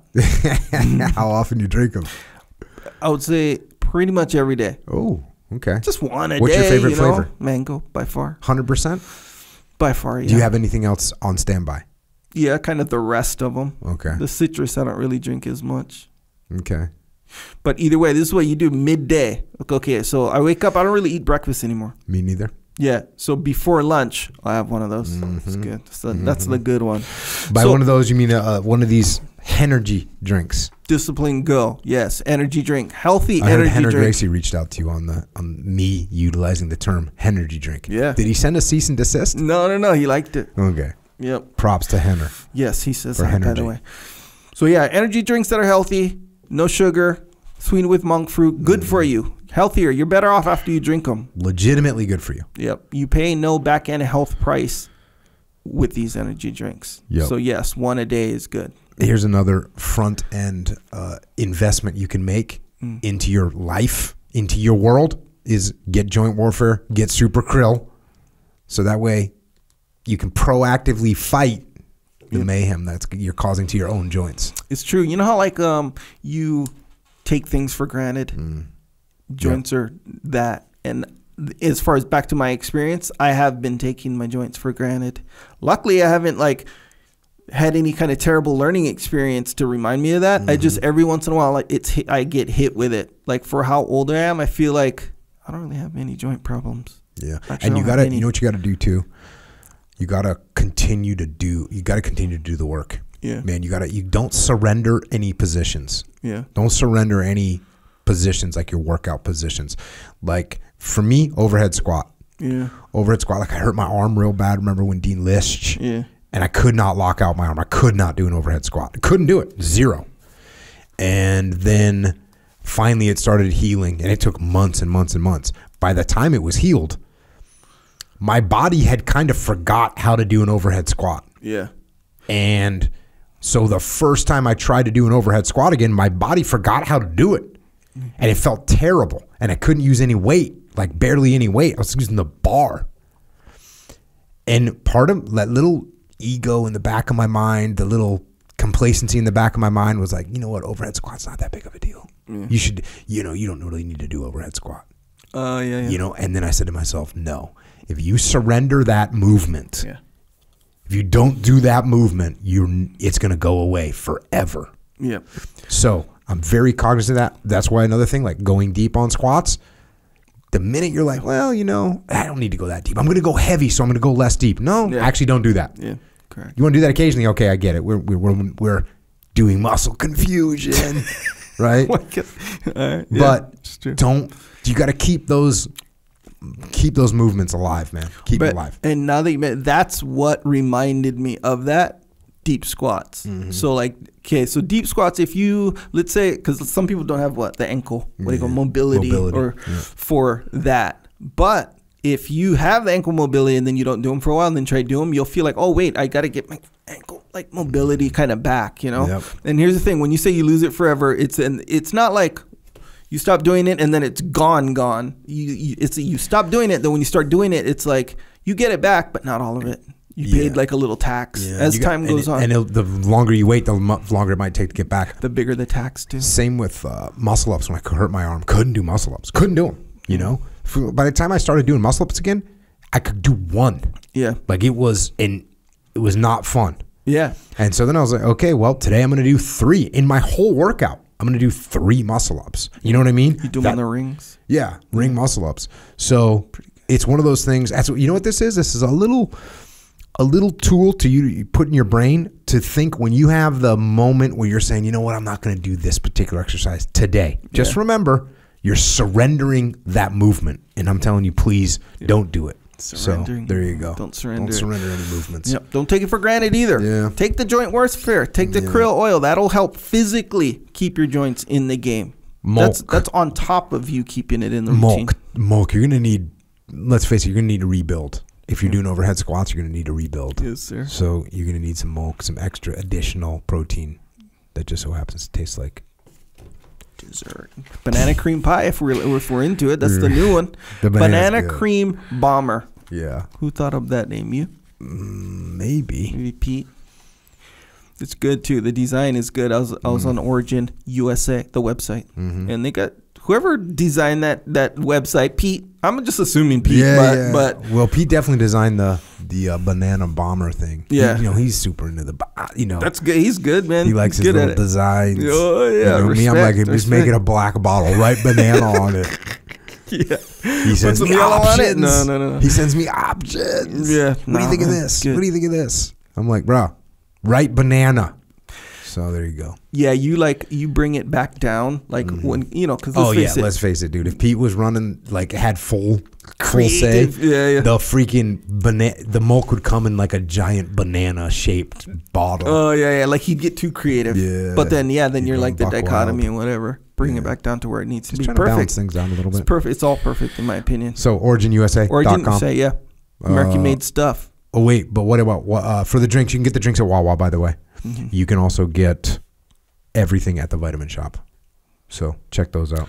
And then you were saying Origin USA. You Yes, were saying Origin You were talking USA. jiu-jitsu. You were talking about jeans. jeans, boots. all that stuff. Everything at Origin is made in America, straight up. Even the materials are made in America. It's an American uh, economic thing.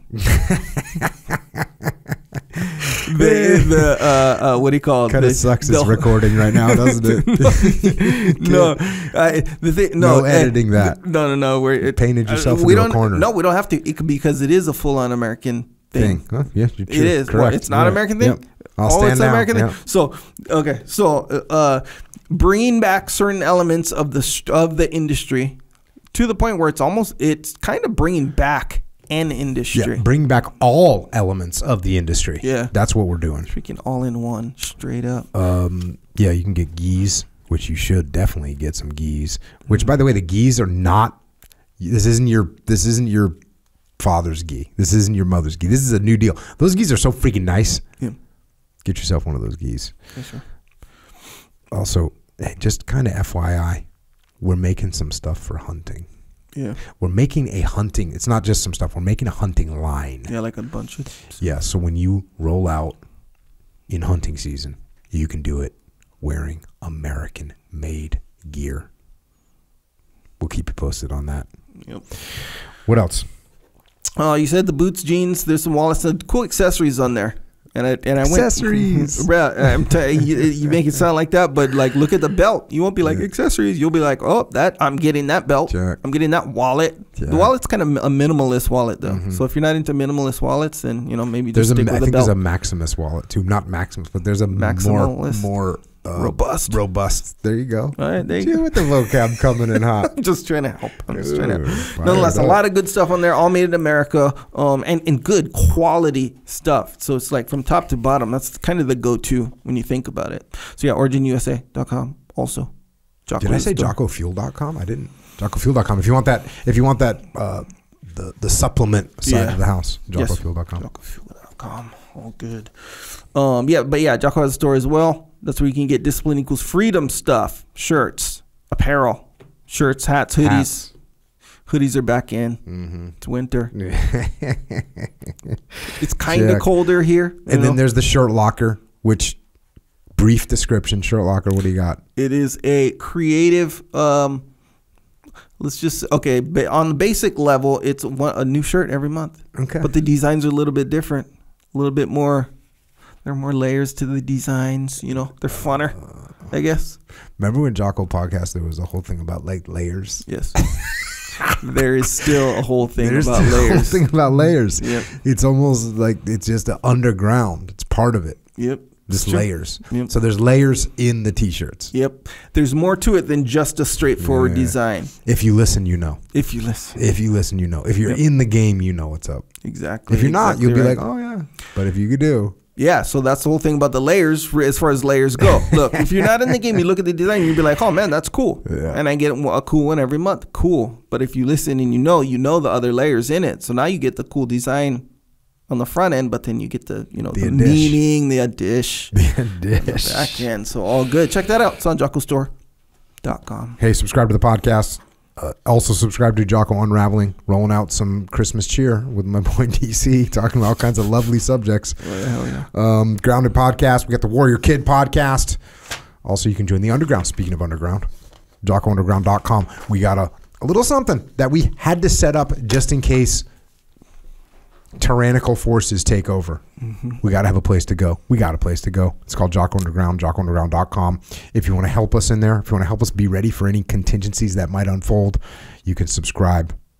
It's eight dollars and eighteen cents a month. We got an additional little podcast on there. We answer your questions and whatnot.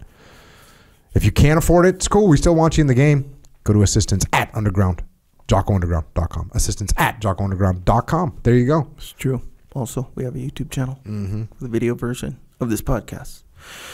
Some excerpts on there, and some also some additional content, as it were. You're gonna have to check it out to see what it is. But yeah, every once in a while we'll put some additional stuff on there that that turns out to be interesting. You want to see what Jocko uh, can't live without? Get that kind of video sometimes. There you go. Um, psychological warfare, MP3 tracks to keep you on the path. We got flipsidecanvas.com. Dakota Meyer selling stuff to hang on your wall. We got books. Only Cry for the Living. Mentioned it today. It's Hollie McKay's first book. We covered on podcast number 271. You can get that from jockopublishing.com. jockopublishing.com. This is actually a book that I published. Why? Because it's a freaking epic story from somebody that spent time on the battlefield when ISIS was being fought and pushed back. And she interviewed people from ISIS, which is crazy. So if you want to check that out, you can go to jockopublishing.com. Also, Final Spin. It's a story, it's a novel, it's a poem, it's a manuscript, it's a freaking wild emotional ride. Don't read it when you're in front of people because you might be crying. Don't read it when you got to be quiet because you might be laughing. Final Spin. I wrote it.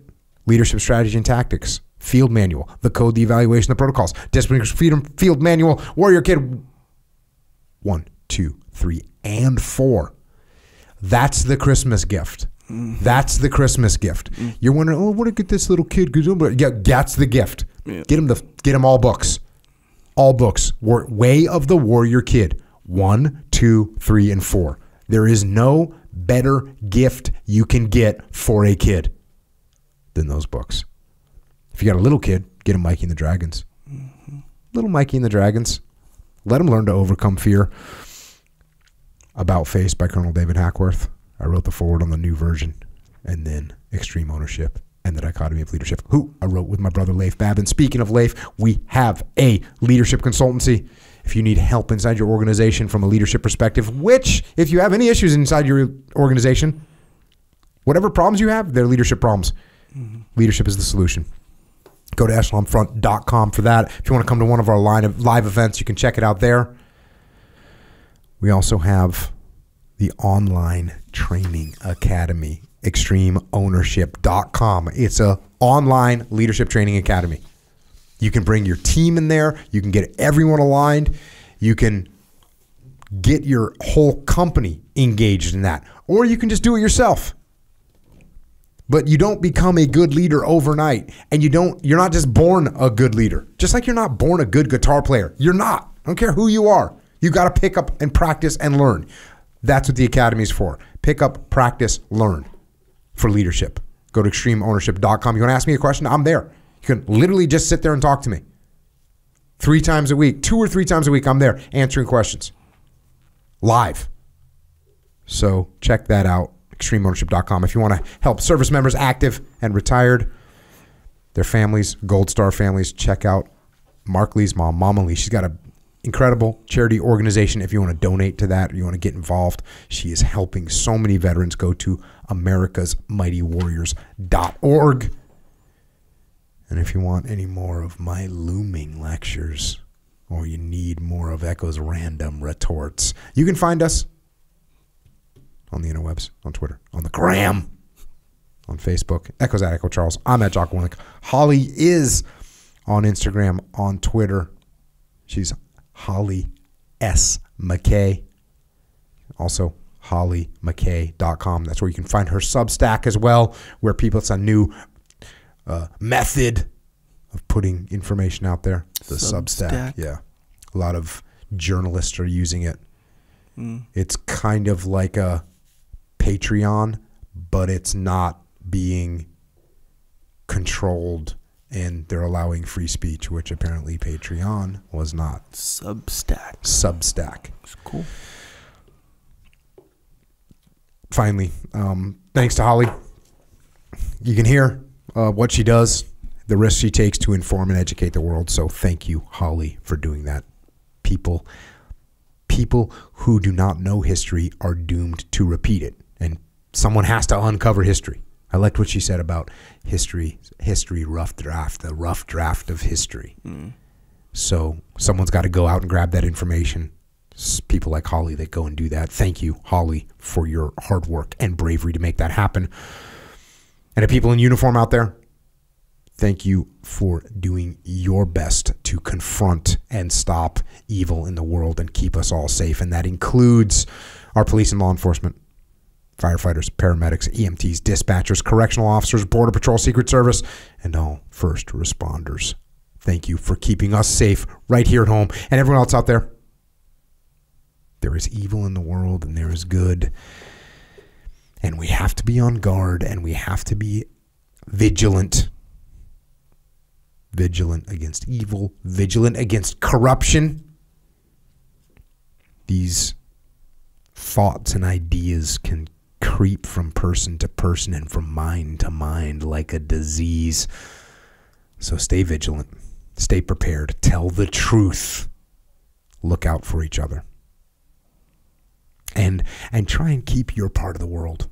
Try and make your part of the world as good as you can and help other people do the same.